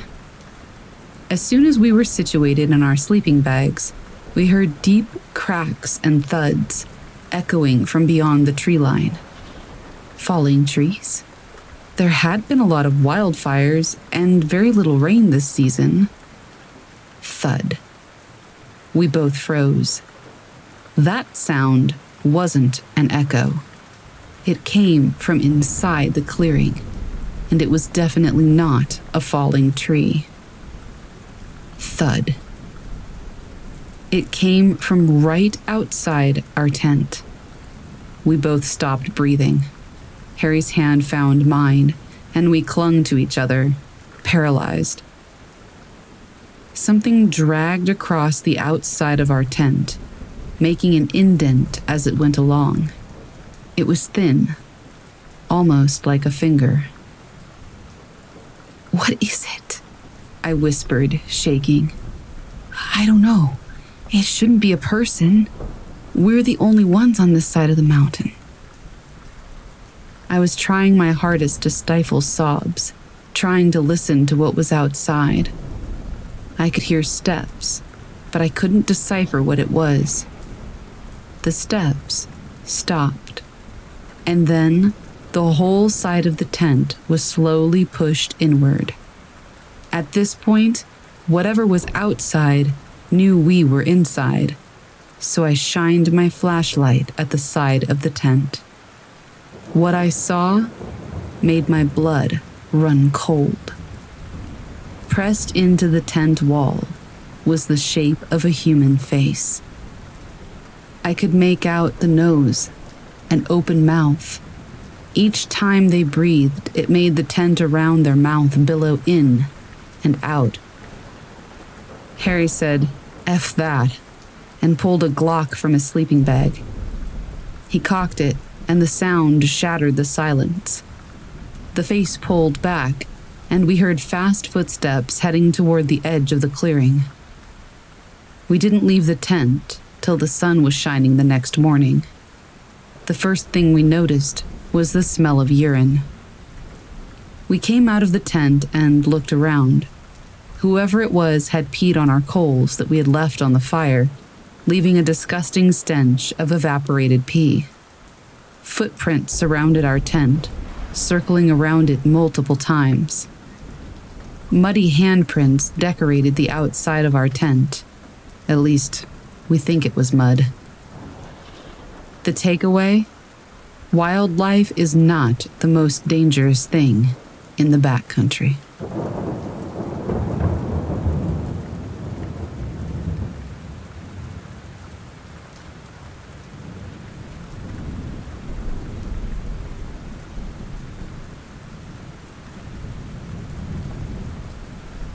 I'm telling this story for 80% entertainment value and 20% feedback. This is entirely true. I'm not a spiritual person. I'm resistant to energies and vibes, though I do believe that there are others who are more tapped into their surroundings than I am in that regard. And I'm a cynic with most paranormal things, except Bigfoot. I believe in the Squatch, but we ain't talking about him. I live in the foothills of western North Carolina, near the base of the Blue Ridge. I lived in the mountains for a few years and hated it up there. I despised the woods with a burning passion. Yet, just my luck, I've moved back in with my folks, in their cabin, surrounded by woods. The land my family owns stretches across about 15 acres of woodland. Now, these are the woods I grew up in. Despite my typical aversion to nature, I do feel pretty safe in them. I climbed the trees and splashed in the creek and played with stick swords when I was a kid. These woods are home, except for the area behind the backyard. Our cabin is positioned at the top of a pretty steep hill that slopes down for about a half mile before it bottoms out at a creek down in the woods. The halfway point between the house and the creek is this little patch of woods right behind the fenced in area around the house. It's always in shade, no thick undergrowth, just trees, Carolina red clay, piles of leaves, the usual. But it feels really weird down there in a way that I can't explain. I feel very unwelcome out behind the house, and I'm not the only one. My parents avoid it too. Even our pets, past and present, have always steered clear of it. I'm going to list some experiences that might get my point across better. A. I was about eight or nine, and one summer I thought I'd try camping in the backyard. I set up my family's unused tent, loaded it up with an air mattress and a pile of blankets, Copper, my beloved deer stuffy, and some comic books. I guess I wanted to be excited about it, but even before the sun went down, when my mom was helping me set up my little camping trip, I felt uneasy. The shady patch of woods around the backyard was just weird. But I was a kid, so I figured, screw it, I'm 20 feet from the house. I'll be fine. I was not fine. I got set up for the night, stayed up reading comics, felt like an outdoorsman, and it had barely gotten dark when I began hearing loud, rhythmic crunching in the woods behind the backyard, like something big was walking in circles around the undergrowth. We don't have bears in my neck of the woods. Besides, whatever it was, it was definitely walking on two legs. It never tried to approach the backyard, even as I sat there with Copper, just listening to it. It just kept walking. I barely lasted an hour in that tent before running inside and getting into my own bed. B. My mom is an avid gardener and decided that she was going to put together four or five raised gardening beds in the backyard for herbs and veggies. This was when I was 11 ish, so naturally, I was roped in to help. We spent the first part of the spring putting them together and getting them started. I began noticing that both of us would get really edgy and irritable back there. We're best friends and we never fight, but we would be snapping at each other, constantly raising that stupid garden. I also noticed for the first time that the woods behind the house are deathly quiet. Playing music or talking didn't make any difference.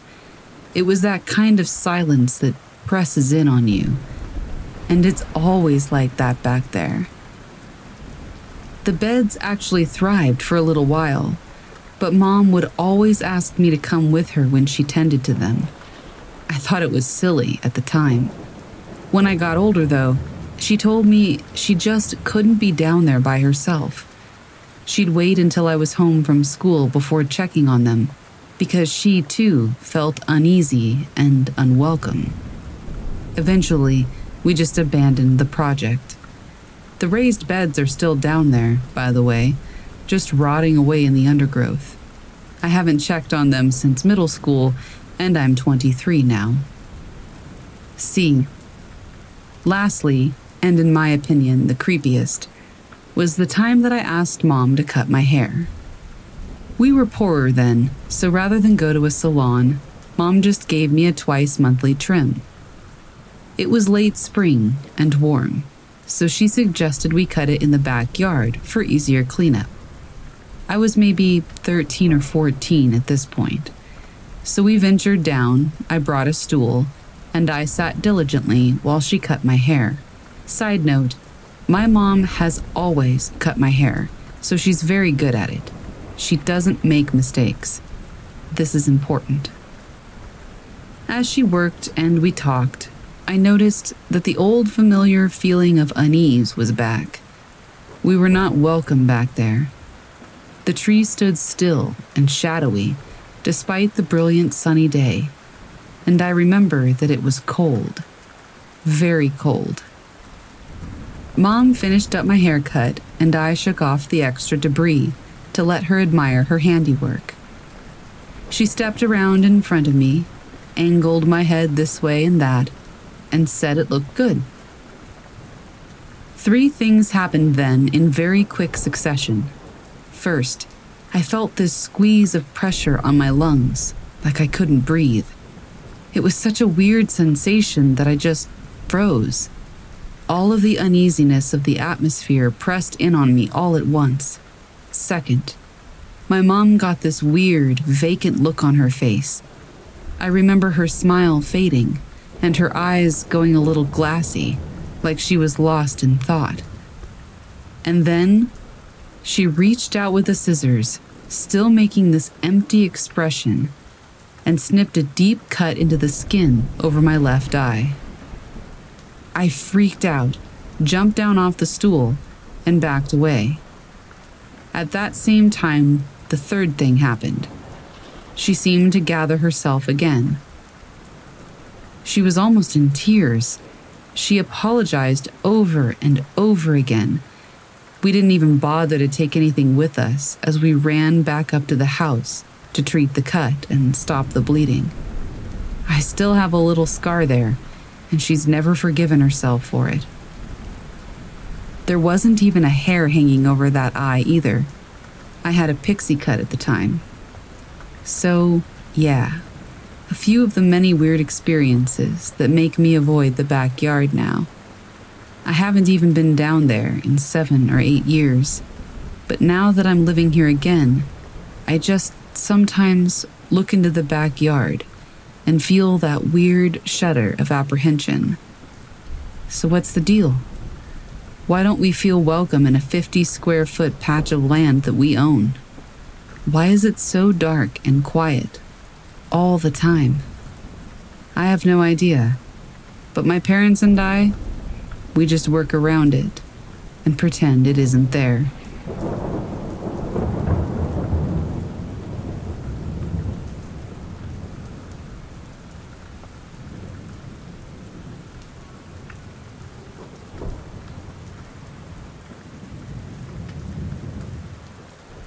A couple of years ago, my pops and I decided to go on a road trip. It was very out of the blue. I wasn't even expecting it, but I decided to go anyway. It would be some solid father son bonding time. After driving for what seemed like a couple of hours, it was maybe around 8 to 9 p.m., we pulled up into this gas station for snacks and water and to use the bathroom. And we went back inside our car. Keep in mind, this gas station was basically in the middle of nowhere. Anyway, we got back into our car and decided to look for a motel, but there were none. And I mean, there wasn't a single one anywhere near us. My dad was really tired, so we decided to sleep in the car. We pulled up into this sort of resting area slash parking lot and decided to go to sleep. My dad fell fast asleep, but I was on my phone for a couple of hours, and around 11 p.m., I just felt suffocated by the tense air, and I decided to step out for a bit. I felt safe because the gas station was still in sight, and there would be a couple of trucks that would occasionally drive by, so I felt at ease. At this time, I was also texting my friend who lives in Seattle, Washington, and we were on the phone for a bit. Then I saw what looked like a large cornfield. I was a city guy, so I'd never seen a cornfield in real life, so I decided to cross the road and just get a closer look. So that's what I did. I walked extremely close and started feeling like I was being watched. But again, I thought, well, you're literally outside in the dark standing next to a tall cornfield. Of course, you're going to feel weird. So I brushed it off. I even considered going in, but then I thought, why would I even do that? So, anyway, I decided to just take a step back when I noticed a barn. A large white barn with red, maybe black strips. It was hard to tell in the dark, but it surely was a barn. And I was stupid and young when this happened, maybe 14 or 15. So, out of curiosity, I decided to just check it out. The barn was next to the cornfield, kind of tucked in a little. I literally thought to myself, I wish I could see something that would freak me out, as a joke, because I never really thought that anything would happen, and I love being scared. Anyway, I started making my way toward the barn. Getting closer and closer, I remember very vividly that I was wearing no socks and just slip on slides. I remember the dirt rubbing against my toes while I walked. I remember sending pictures to my friend in Washington jokingly saying that I saw something and I was going to go check it out. As I got closer, I did see something. Behind the barn, but sort of to the side, like how when someone peers from a corner. At first, I thought it was a bell. Literally, I assumed that it was just a bell attached to the corner of the barn. So I just walked closer. I kept moving toward it. And then I saw the head of something or someone just peering around the corner at me. At that moment, I straight up froze. My flight or fight was out of function, apparently, because there I was, literally seeing someone or something peering at the corner, and I didn't do either of those things. After about 5 to 10 seconds, the noise that Snapchat makes when you get a notification snapped me out of it. And I just ran as fast as I could across the road to my dad's car and got in.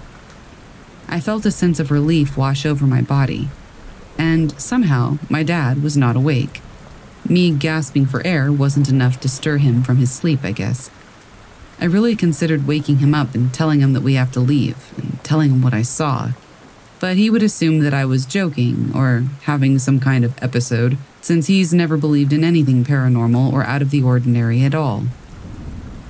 I took deep breaths and just texted my friend telling her what I saw, but she didn't believe me. I don't blame her, and I won't blame any of you either if you don't believe me. I have a hard time actually believing what I saw sometimes but I know it was real. I was sober and fully aware. But from the bottom of my heart, the part that disturbs me the most is that whatever was peering at me from around that corner was very tall, at least seven, maybe eight feet tall. And every time I think about that, I get a sense of dread and paranoia. I haven't told any of my family, not even my dad. But if any of you have a clue of what I might have seen, let me know. I wasn't hallucinating. And this was way before I figured out anything to do with psychedelics or drugs in general. I've been trying to piece it together ever since it happened. I was sort of 50 50 on paranormal encounters before, but after that experience, I believe. I believe in walkers and wendigos and ghosts and everything pretty much. It's completely changed me. I want to know what's out there. I want to know what I encountered.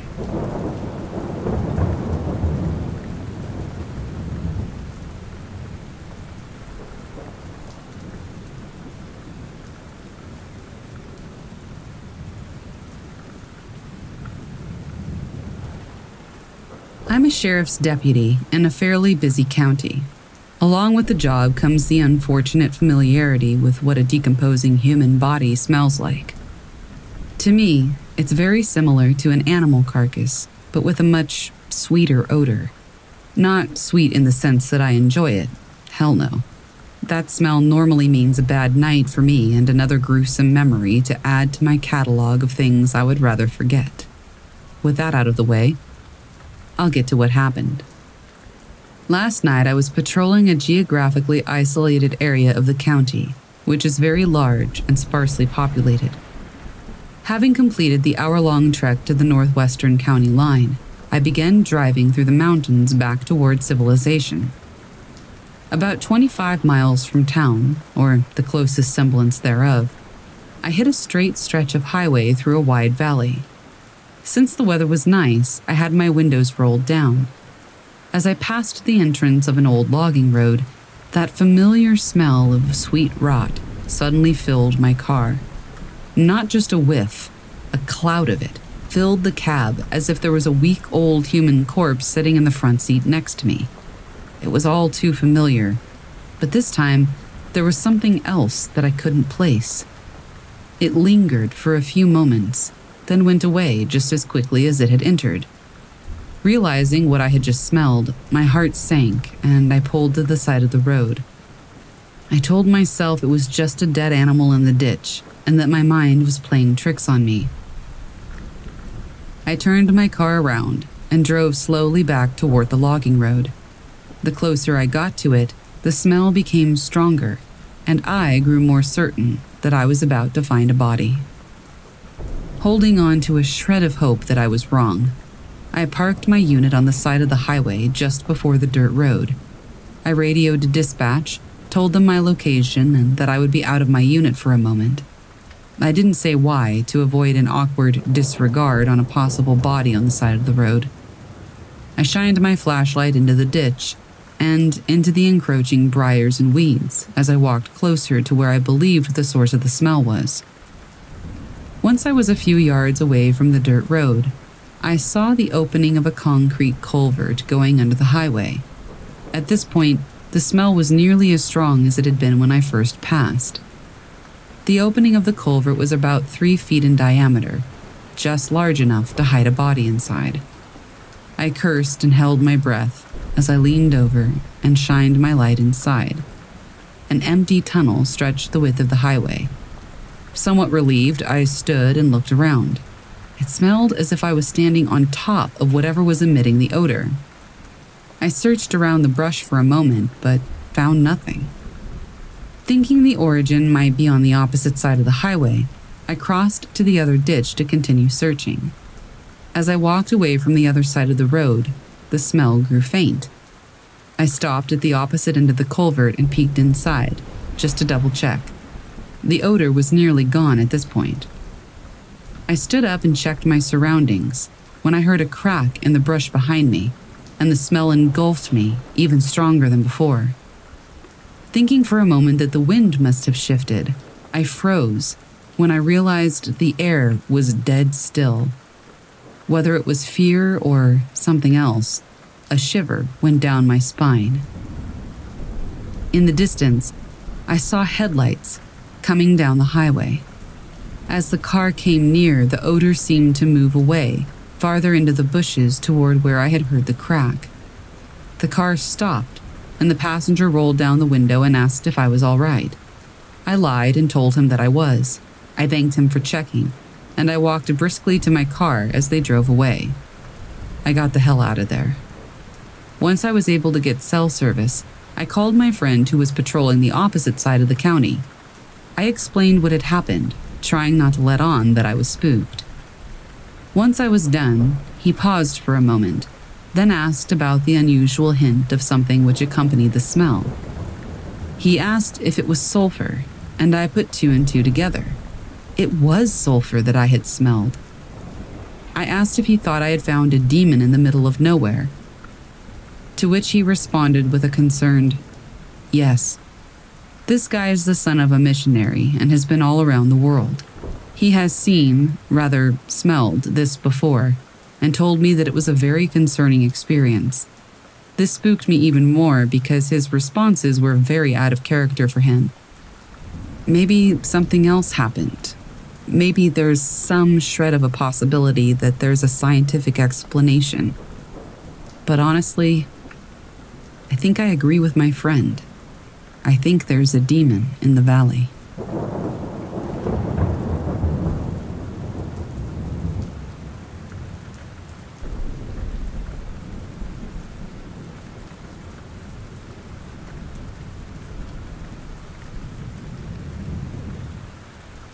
In Sydney, there's this national park drive where people complete runs which consist of trying to complete the drives within a timestamp.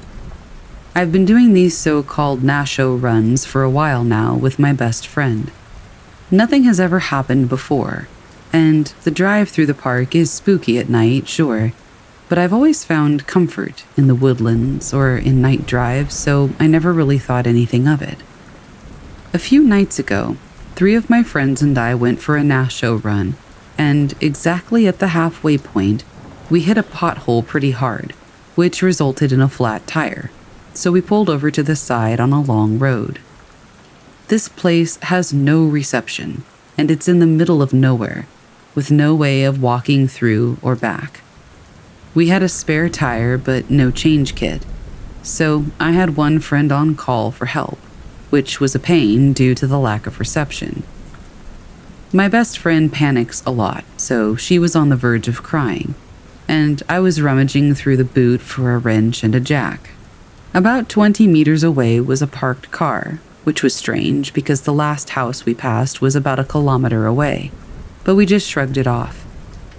Later on, in the dead of night, we hear a group of friends laughing, and this spooked my friends, so they stayed in the car. I told them I was going to follow the laughter and ask if they had a change kit in their parked car. Nate insisted on coming with me. We walked 20 meters to the parked car, and nobody was in there. It gets pretty freaking dark, so I tell him to turn on his flashlight, which he does. We turn a corner on a gravel road, and once we do, we see a woman standing there with her back toward us. The group laughter had stopped, which left us in the dead of night in complete silence in the middle of nowhere with this random woman who was just standing there, but she looked pretty normal to me, so I approached her slowly. I said, Hey. She didn't turn around or react at all, so I stopped in my tracks, but Nate continued walking toward her. He stopped about five meters away behind her. I yelled out, Oi! And again, she didn't turn around. We weren't able to see her face, but something just wasn't right. She was tall, in all white, but I looked at Nate and he just stood there, and under his breath, he muttered my name and told me to go repeatedly. So I turned around and started walking back. By the time we passed the car, we started running back to our car. We sat inside and I asked what happened, and he said that something was wrong because a woman just shouldn't be standing there by herself in pitch darkness in the middle of a gravel road. In addition to that, she didn't react to us or our source of light. He said he just felt ominous about it all. We told our other two friends, and Nate was very shaken up. They sort of laughed it off. And when we ended up finally changing the tire, we turned the car back around and stopped right where we had seen the woman. I rolled the window down and shined my flashlight on the gravel road. The woman was gone, though. No more laughter, just silence. I thought maybe I had imagined her, but we stood right there, and Nate was right behind her. However, every single one of us heard the group laughter, and there's a fair share of paranormal stories about this area. But up until then, I'd never really paid attention to it. I know it doesn't sound like much, but at the time, it was so crazy. Something just felt so, so wrong. And the way the laughter got relatively loud the closer we got, but then came to a total halt once we saw her, something was just wrong.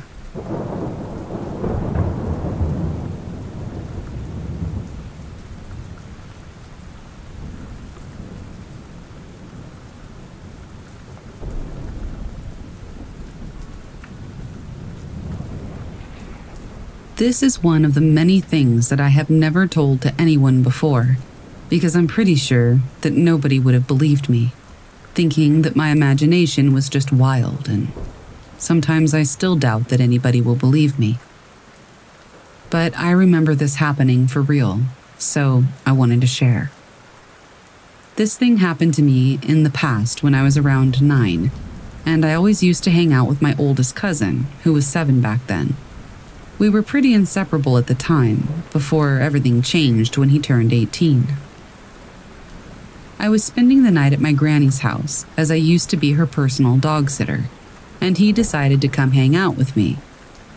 He suggested that it was a good idea to go into the nearest forest, which was almost right next to her house. We were living in a medium sized city, but the forest is almost always near buildings at some parts or areas. Around 10 or 11 p.m., we decided just to walk to the edge of the forest, since it would have been completely foolish to go deep into the forest that late. I told him that that would be a good idea, since we were both kind of bored and feeling adventurous. We headed out and just started to walk toward the edge of the forest, both up for having a small adventure. But that didn't even last a half hour before the weird thing started to happen. I remember when I was standing against a big tree and looking just in front of me, my cousin was near my side, like six or seven inches away from me. I was looking in front of me, and I felt like I was searching for something. I'm still unclear of what exactly it was, but I was just looking. All of a sudden, I saw red eyes staring at me from out of nowhere, but they were really far from us. I turned toward my cousin and asked if he was seeing what I was, but he ignored my question. So I turned back to look at the eyes, and they were much closer than before. I blinked a few times, but of course I couldn't see anything around them, and they weren't getting closer. I just saw trees. I turned back to him and asked the same question, but he kept ignoring me. So I turned one last time to look at them, to see that they were even closer and closer. I just kept watching them, feeling a little bit afraid at this moment.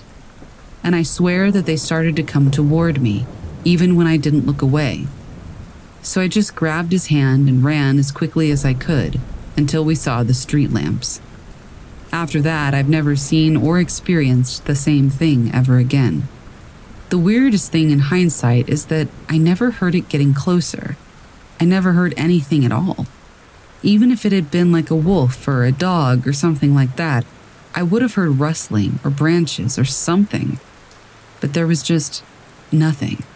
It's been 16 years since this happened, and it has always stayed with me.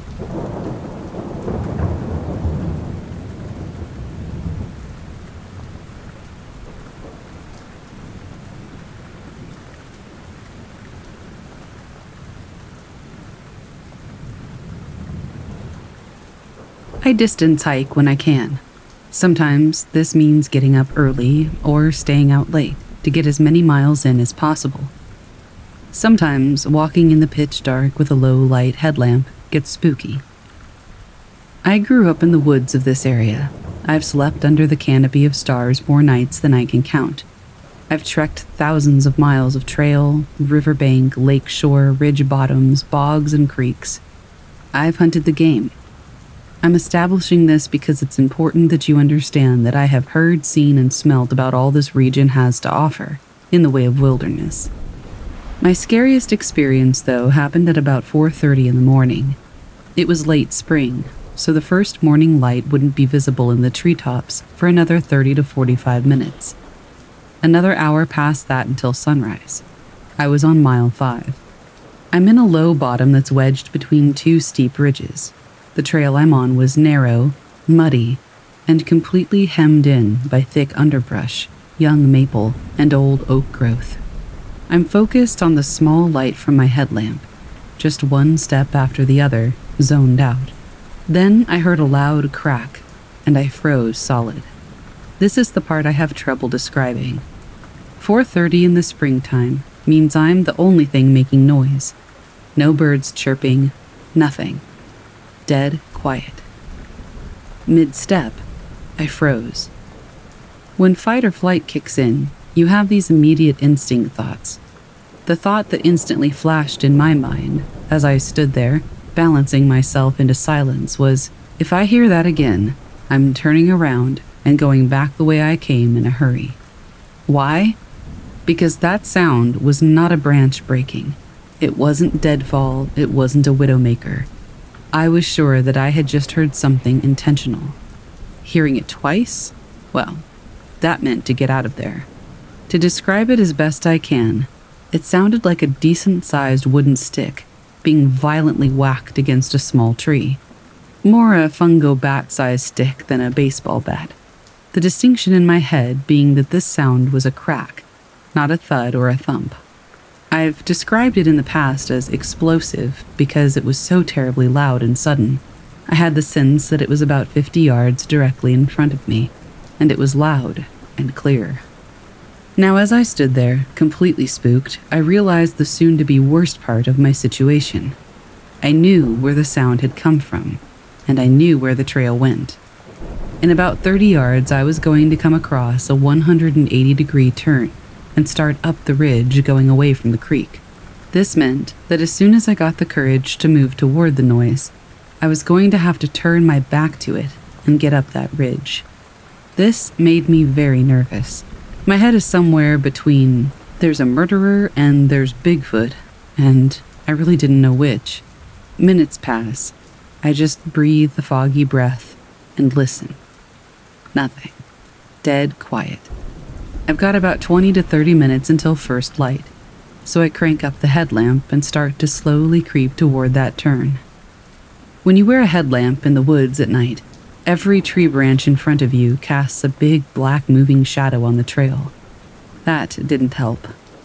I get to the turn and quickly make the bend.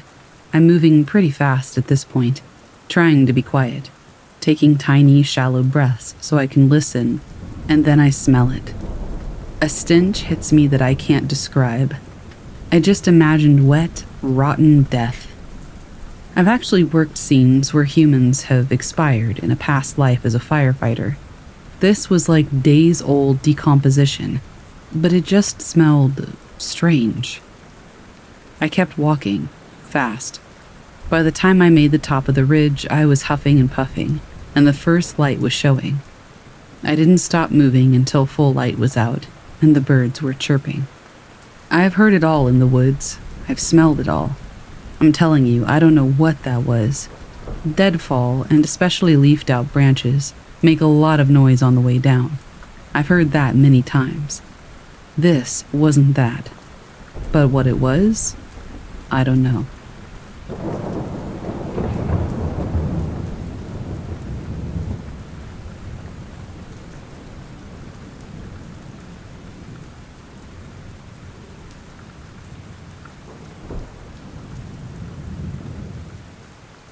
I've lived in rural Massachusetts for 17 years of my life, and I've encountered a lot of wildlife in my time here.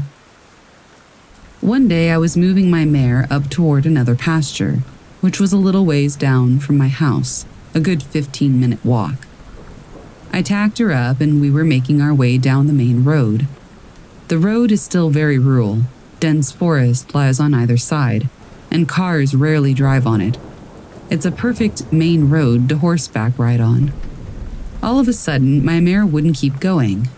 Annoyed, I dismounted and decided to lead her on foot to the pasture. We were making our way around a corner when I noticed my mare's gaze fixated on something. Less than 15 feet away from us was a large black bear. As we made eye contact, my heart sank into my stomach. I was 16 years old at the time and barely weighed 100 pounds. Staring down something so large is unforgettable, and it was one of the scariest things I've ever experienced. Not only do I have this thing's attention, but I have a whole damn horse with me, and I'm on the ground, not even on the horse. Maybe I didn't act the way I was supposed to, but I'm alive, so I'm not complaining. I slowly started walking backwards with my mare not wanting to risk anything. Adrenaline does weird things. After I re rounded the corner and the bear was out of sight, I mounted my mare and made my way back to my house. I actually drove up with my car and managed to get a few blurry pictures of it, but nothing to write home about. I have had a lot of weird ass, borderline paranormal encounters in the woods, but nothing beats Mother Nature's creatures.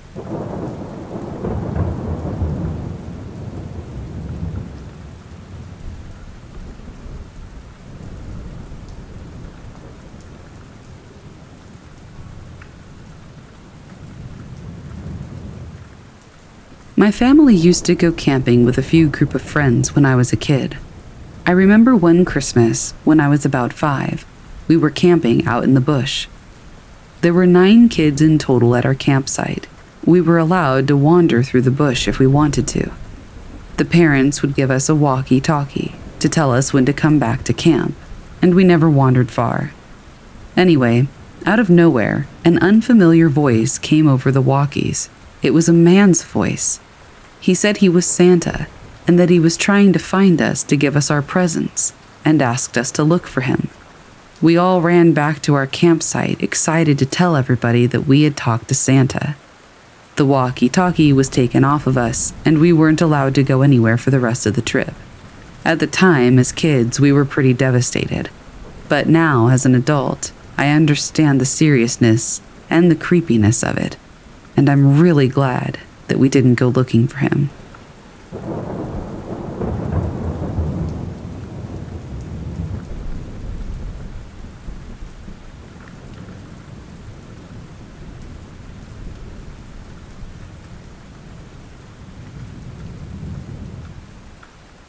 My story is nothing special, but I feel like I should write it down and tell it.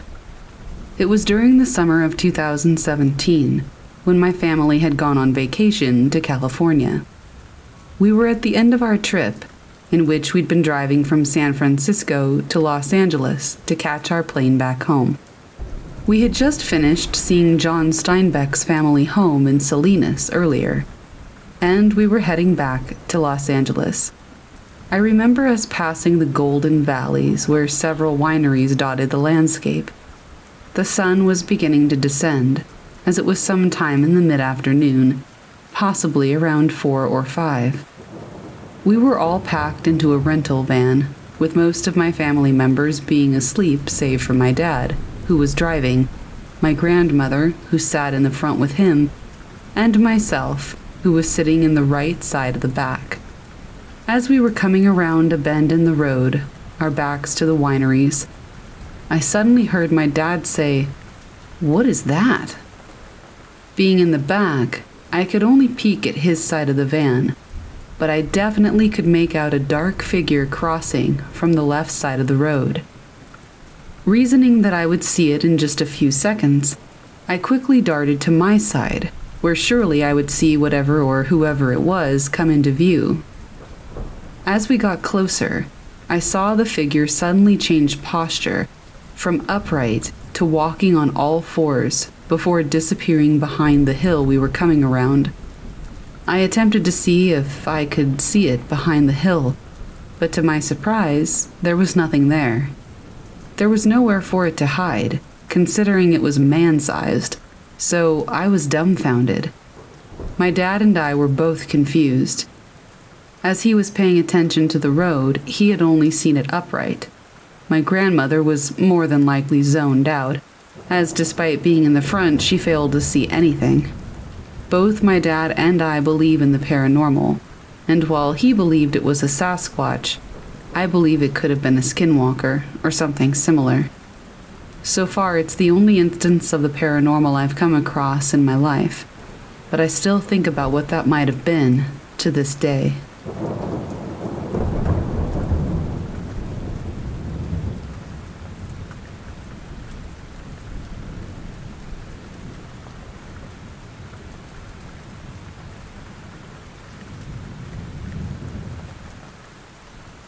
Just got home from a road trip, and I've been thinking about something I saw and can't make sense of.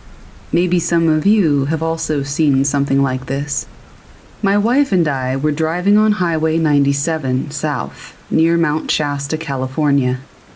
It was about midnight, and we were driving through a heavily wooded area without any street lamps. We rounded a corner when I saw something fast and low to the ground dart across the street, about 50 to 60 yards ahead of us. I saw the glowing animal eyes and a body that was the size and shape of a big dog. We saw animals the whole road trip, and like usual, I asked my wife if she had seen it too, and she confirmed. The body wasn't 100% clear because of our headlights, they hadn't reached that section of the road yet. When we got to the exact point in the road where the animal had crossed, we looked to that side to see if there was anything there. All there was was a man dressed in army fatigues walking down the road. He didn't look at us, he just kept walking. It was pitch black, and he didn't have any type of light with him. He was only illuminated by our headlights. We both got full body chills when we saw him because we were expecting to see an animal. I know that area has a magical and mystical history with a lot of unexplained sightings, but this is unlike anything I've ever experienced before.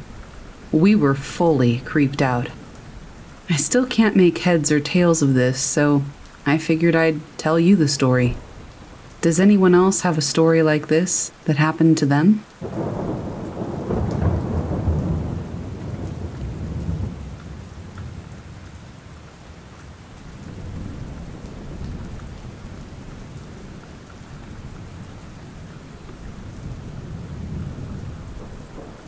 This happened a few months ago, and I've kept it to myself until recently when I told my dad about it.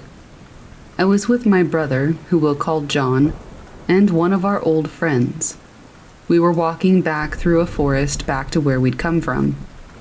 Since I'm younger than both of them, they tend to annoy me a lot, but this time they were being really annoying, so I decided to walk ahead. I was about halfway between them and the exit to the forest when I heard things snapping on my left. I just brushed it off and kept walking, but then I started to hear a low mumbling noise, so I stopped and looked around. I asked if anyone was there, and I got no reply until about 30 to 40 seconds later. I heard what sounded like my brother saying, Come here, I need your help. So I asked what was wrong while keeping my distance, because something about his voice sounded wrong.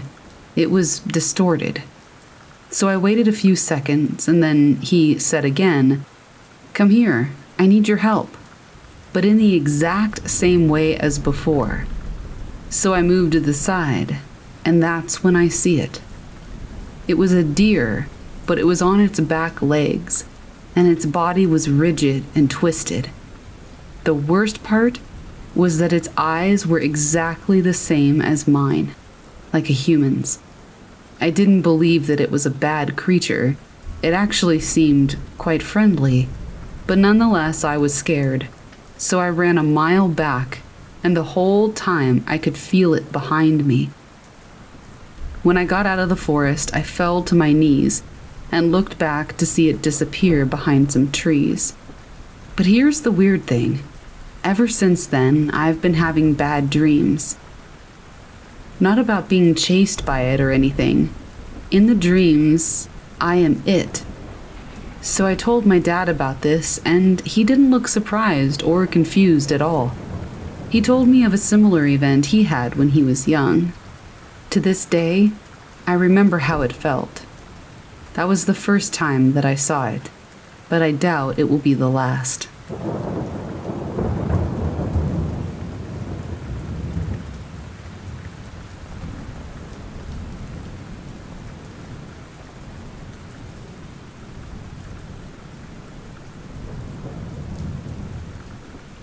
I guess this story is a little boring, but it just happened to me, so here you go.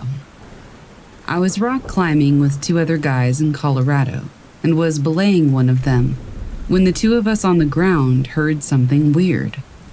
The commands we use to communicate that we are safe at the top of a route are name of the guy on the ground, off belay, which prompts the belayer to unclip the rope from his belay device so the climber can pull slack out of the rope. The response to that command is name of the guy at the top of the route, belay off. The climber was approximately 40 meters up on an about 50 meter route. I didn't know this at the time. The rope stopped moving, which isn't uncommon when someone is having a hard time with a move or is setting up an anchor, which is what we thought was going on. But then we heard it. A voice that sounded way closer to the ground, like close enough that we could have had a shouting conversation, and way farther left off route of where the climber should have been, said, My name, off belay. I looked at the other guy in our climbing party who was just as confused as I was. He said to me, What the F was that? And we discussed where the climber should be at this time and that we shouldn't be able to hear him that well. The rope still wasn't moving, but I decided to keep him on belay. I figured it would be best to keep him safe and just feed slack through my belay device in the event that it wasn't him. Turns out it wasn't. A few moments later, the rope starts moving again, later, followed by a faint syllable counted, my name off belay, that sounded way more like it should have. We didn't really think anything of it, but we had been traveling down the wall and hit a few routes without seeing anyone. We also had a friend just a few months ago that got burned in on a route when someone took him off belay when he wasn't safe. I remember seeing a video of a hiker or rancher or something walking down the road when he hears the voice of a woman calling him off the road. The guy stops to figure out what's going on, then just gets out of there because of how weird it was.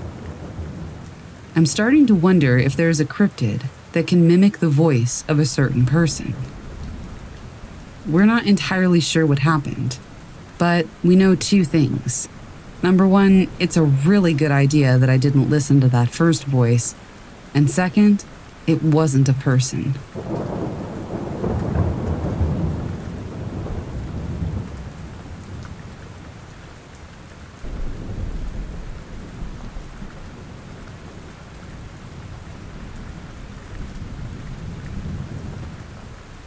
My grandmother, on my mother's side, has always been very superstitious, for lack of a better word. She's not necessarily religious, but she does believe in a lot of paranormal stuff. Her mother was full blooded Navajo, and her father was Irish. Either way, she'd never been anywhere east of Montana, and she grew up in Nevada. One year, when I was in grade school, we went to visit her. Most of the visit was pretty uneventful, typical boring old people stuff. Except she always kept her curtains drawn shut and would always peek out the window. And whenever somebody would ask her what she was doing, she would simply reply, Yenaldlushi is watching me. This went on for nearly the entire visit, until a few days before we were due to leave. My grandma and my then baby brother, he's 19 now, were in the front yard that evening planting flowers, when all of a sudden my grandmother starts shouting, Get away from that creature, it's not safe, to my brother. Of course, being in Nevada, we all assumed that my brother had found a scorpion or a rattlesnake, so we all run outside to see my grandmother clutching my little brother and shaking in terror against the side of the house. Standing out in the yard was a large, black, Great Dane sized dog. It was staring at my grandmother with an intensity that I have never seen before. It looked up at us, gave a little huff, and bounded off. I don't remember if it moved unusually fast or not, but I do remember that it had very deep yellow eyes. When my mother asked my grandmother what had happened, she kept repeating, The Yenald has found me. She moved a couple of weeks after that.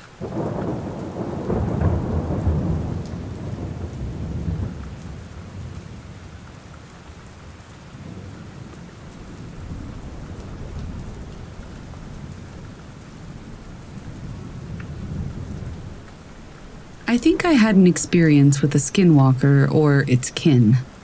I wonder how far their territory ranges.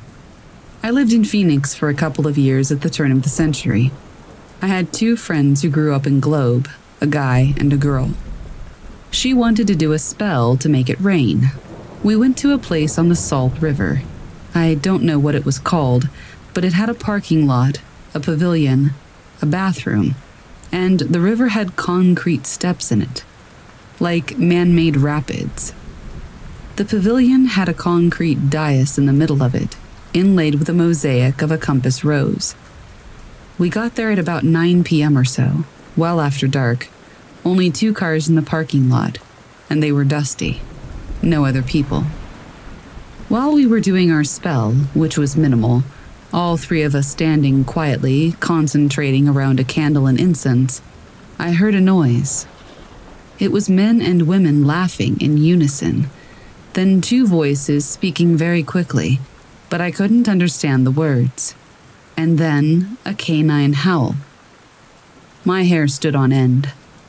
We all jerked our heads toward the parking lot and stood stock still for a minute but we didn't see anything or hear anything else. So, we went back to concentrating. I didn't think the voices were weird in the moment. I figured the people that owned the cars had come back. I did think the howl was odd coupled with the voices, but I was thinking, cool, I got to hear a coyote. So after we finished the spell, we started wondering where the people were.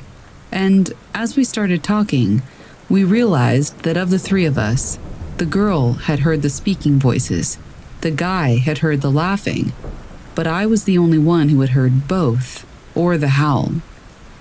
When I told them what I'd heard, they both got really pale. Their whole demeanor changed to alarm, and they said, We have to get out of here right now. I said, Okay, but I have to pee first. They were very upset by this but the bathroom was right by us. I went, but they were banging on the door in total panic after I'd been in there 30 seconds. I thought they were being overly dramatic. So we made it to the car, and they're acting like we're in a horror movie. We left without further incident. After we got on the road, I asked them why they were so upset. They said that there were things that lived out there that I didn't want to know about. Apparently, people who live in Globe have to deal with this kind of thing a lot, based on more stories the guy told me about living there. He never mentioned the word skinwalker, though. I read about them later and finally understood why they were so scared that night.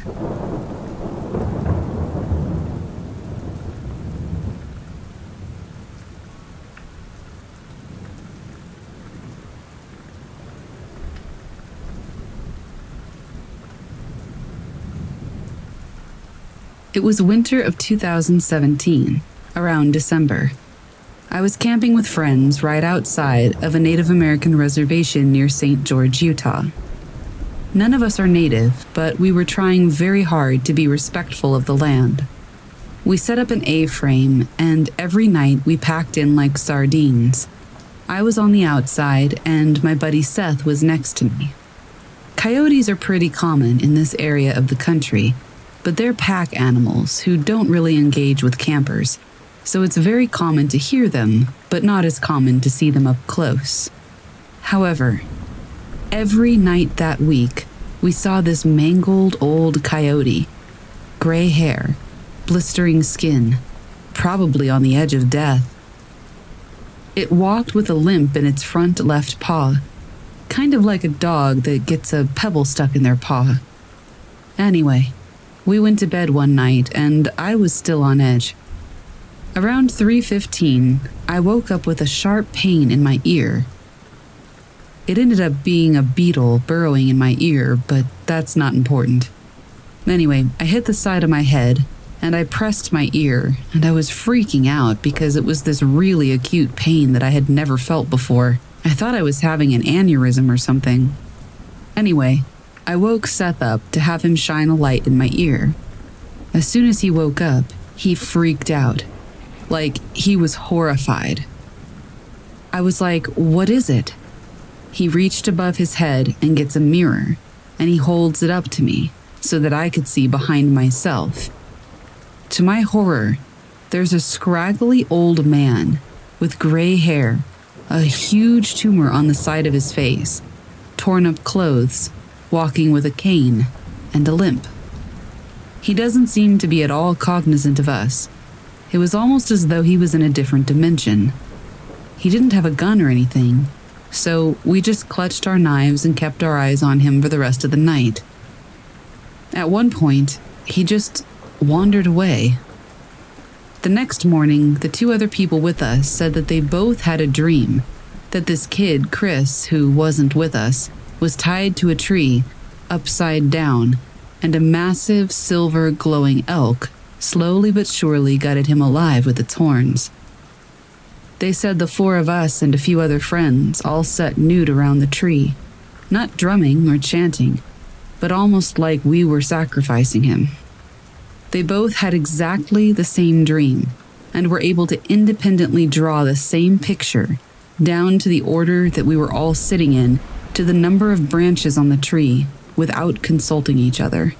We texted Chris when we left, and he said he'd been up all night, throwing up, completely inexplicably. I don't know if we saw a skinwalker or what, but that was the weirdest experience of my life.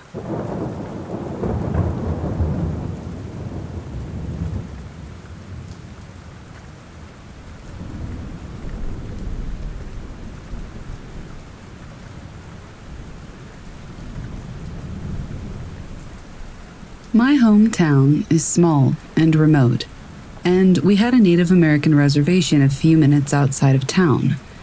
I was close to a lot of the people that lived there, mostly the teenagers and children, as they shared extracurricular activities through the school, so I grew pretty accustomed to their beliefs. Now, I moved pretty far away right before I started high school, but I visited somewhat frequently, as I still had family there. My grandmother owned a camp on a small lake. It was very quaint and nice to spend time there. However, as soon as it became dark out, things felt very different. On one side, we had neighbors for miles. On the other, it was dense woods. My cousins and I, one a year older and one a year younger, had always found those woods creepy. We visited now and then, but always became very uncomfortable and soon left.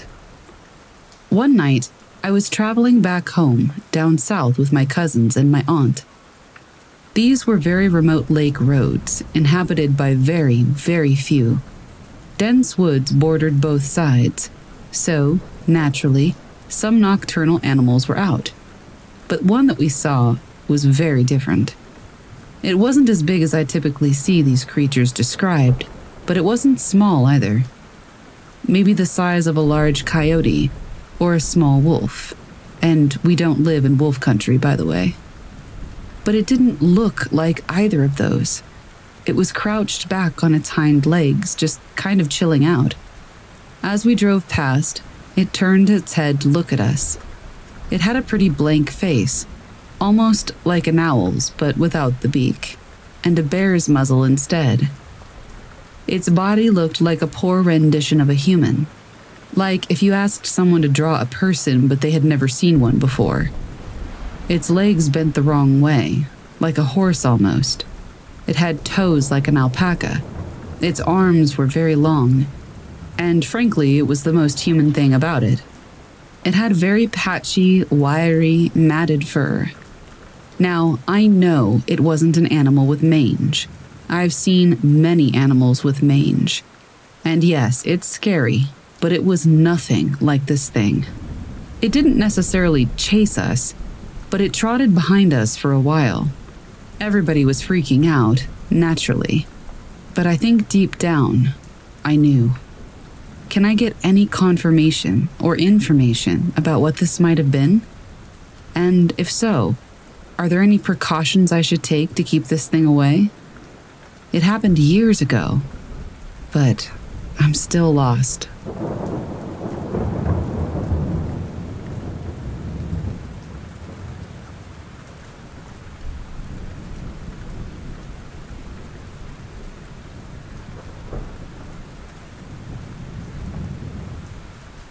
When I was younger, around 18, I was visiting my aunt in Albuquerque.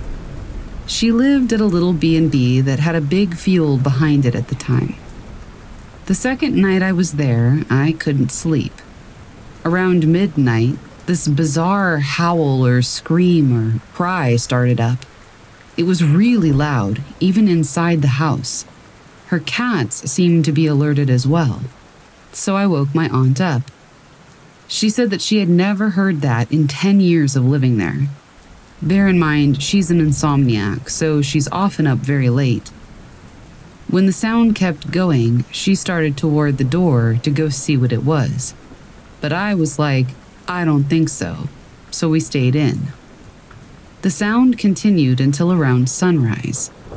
The owner of the B&B was out of town at the time, but when asked, she said that she had never heard a sound like that either.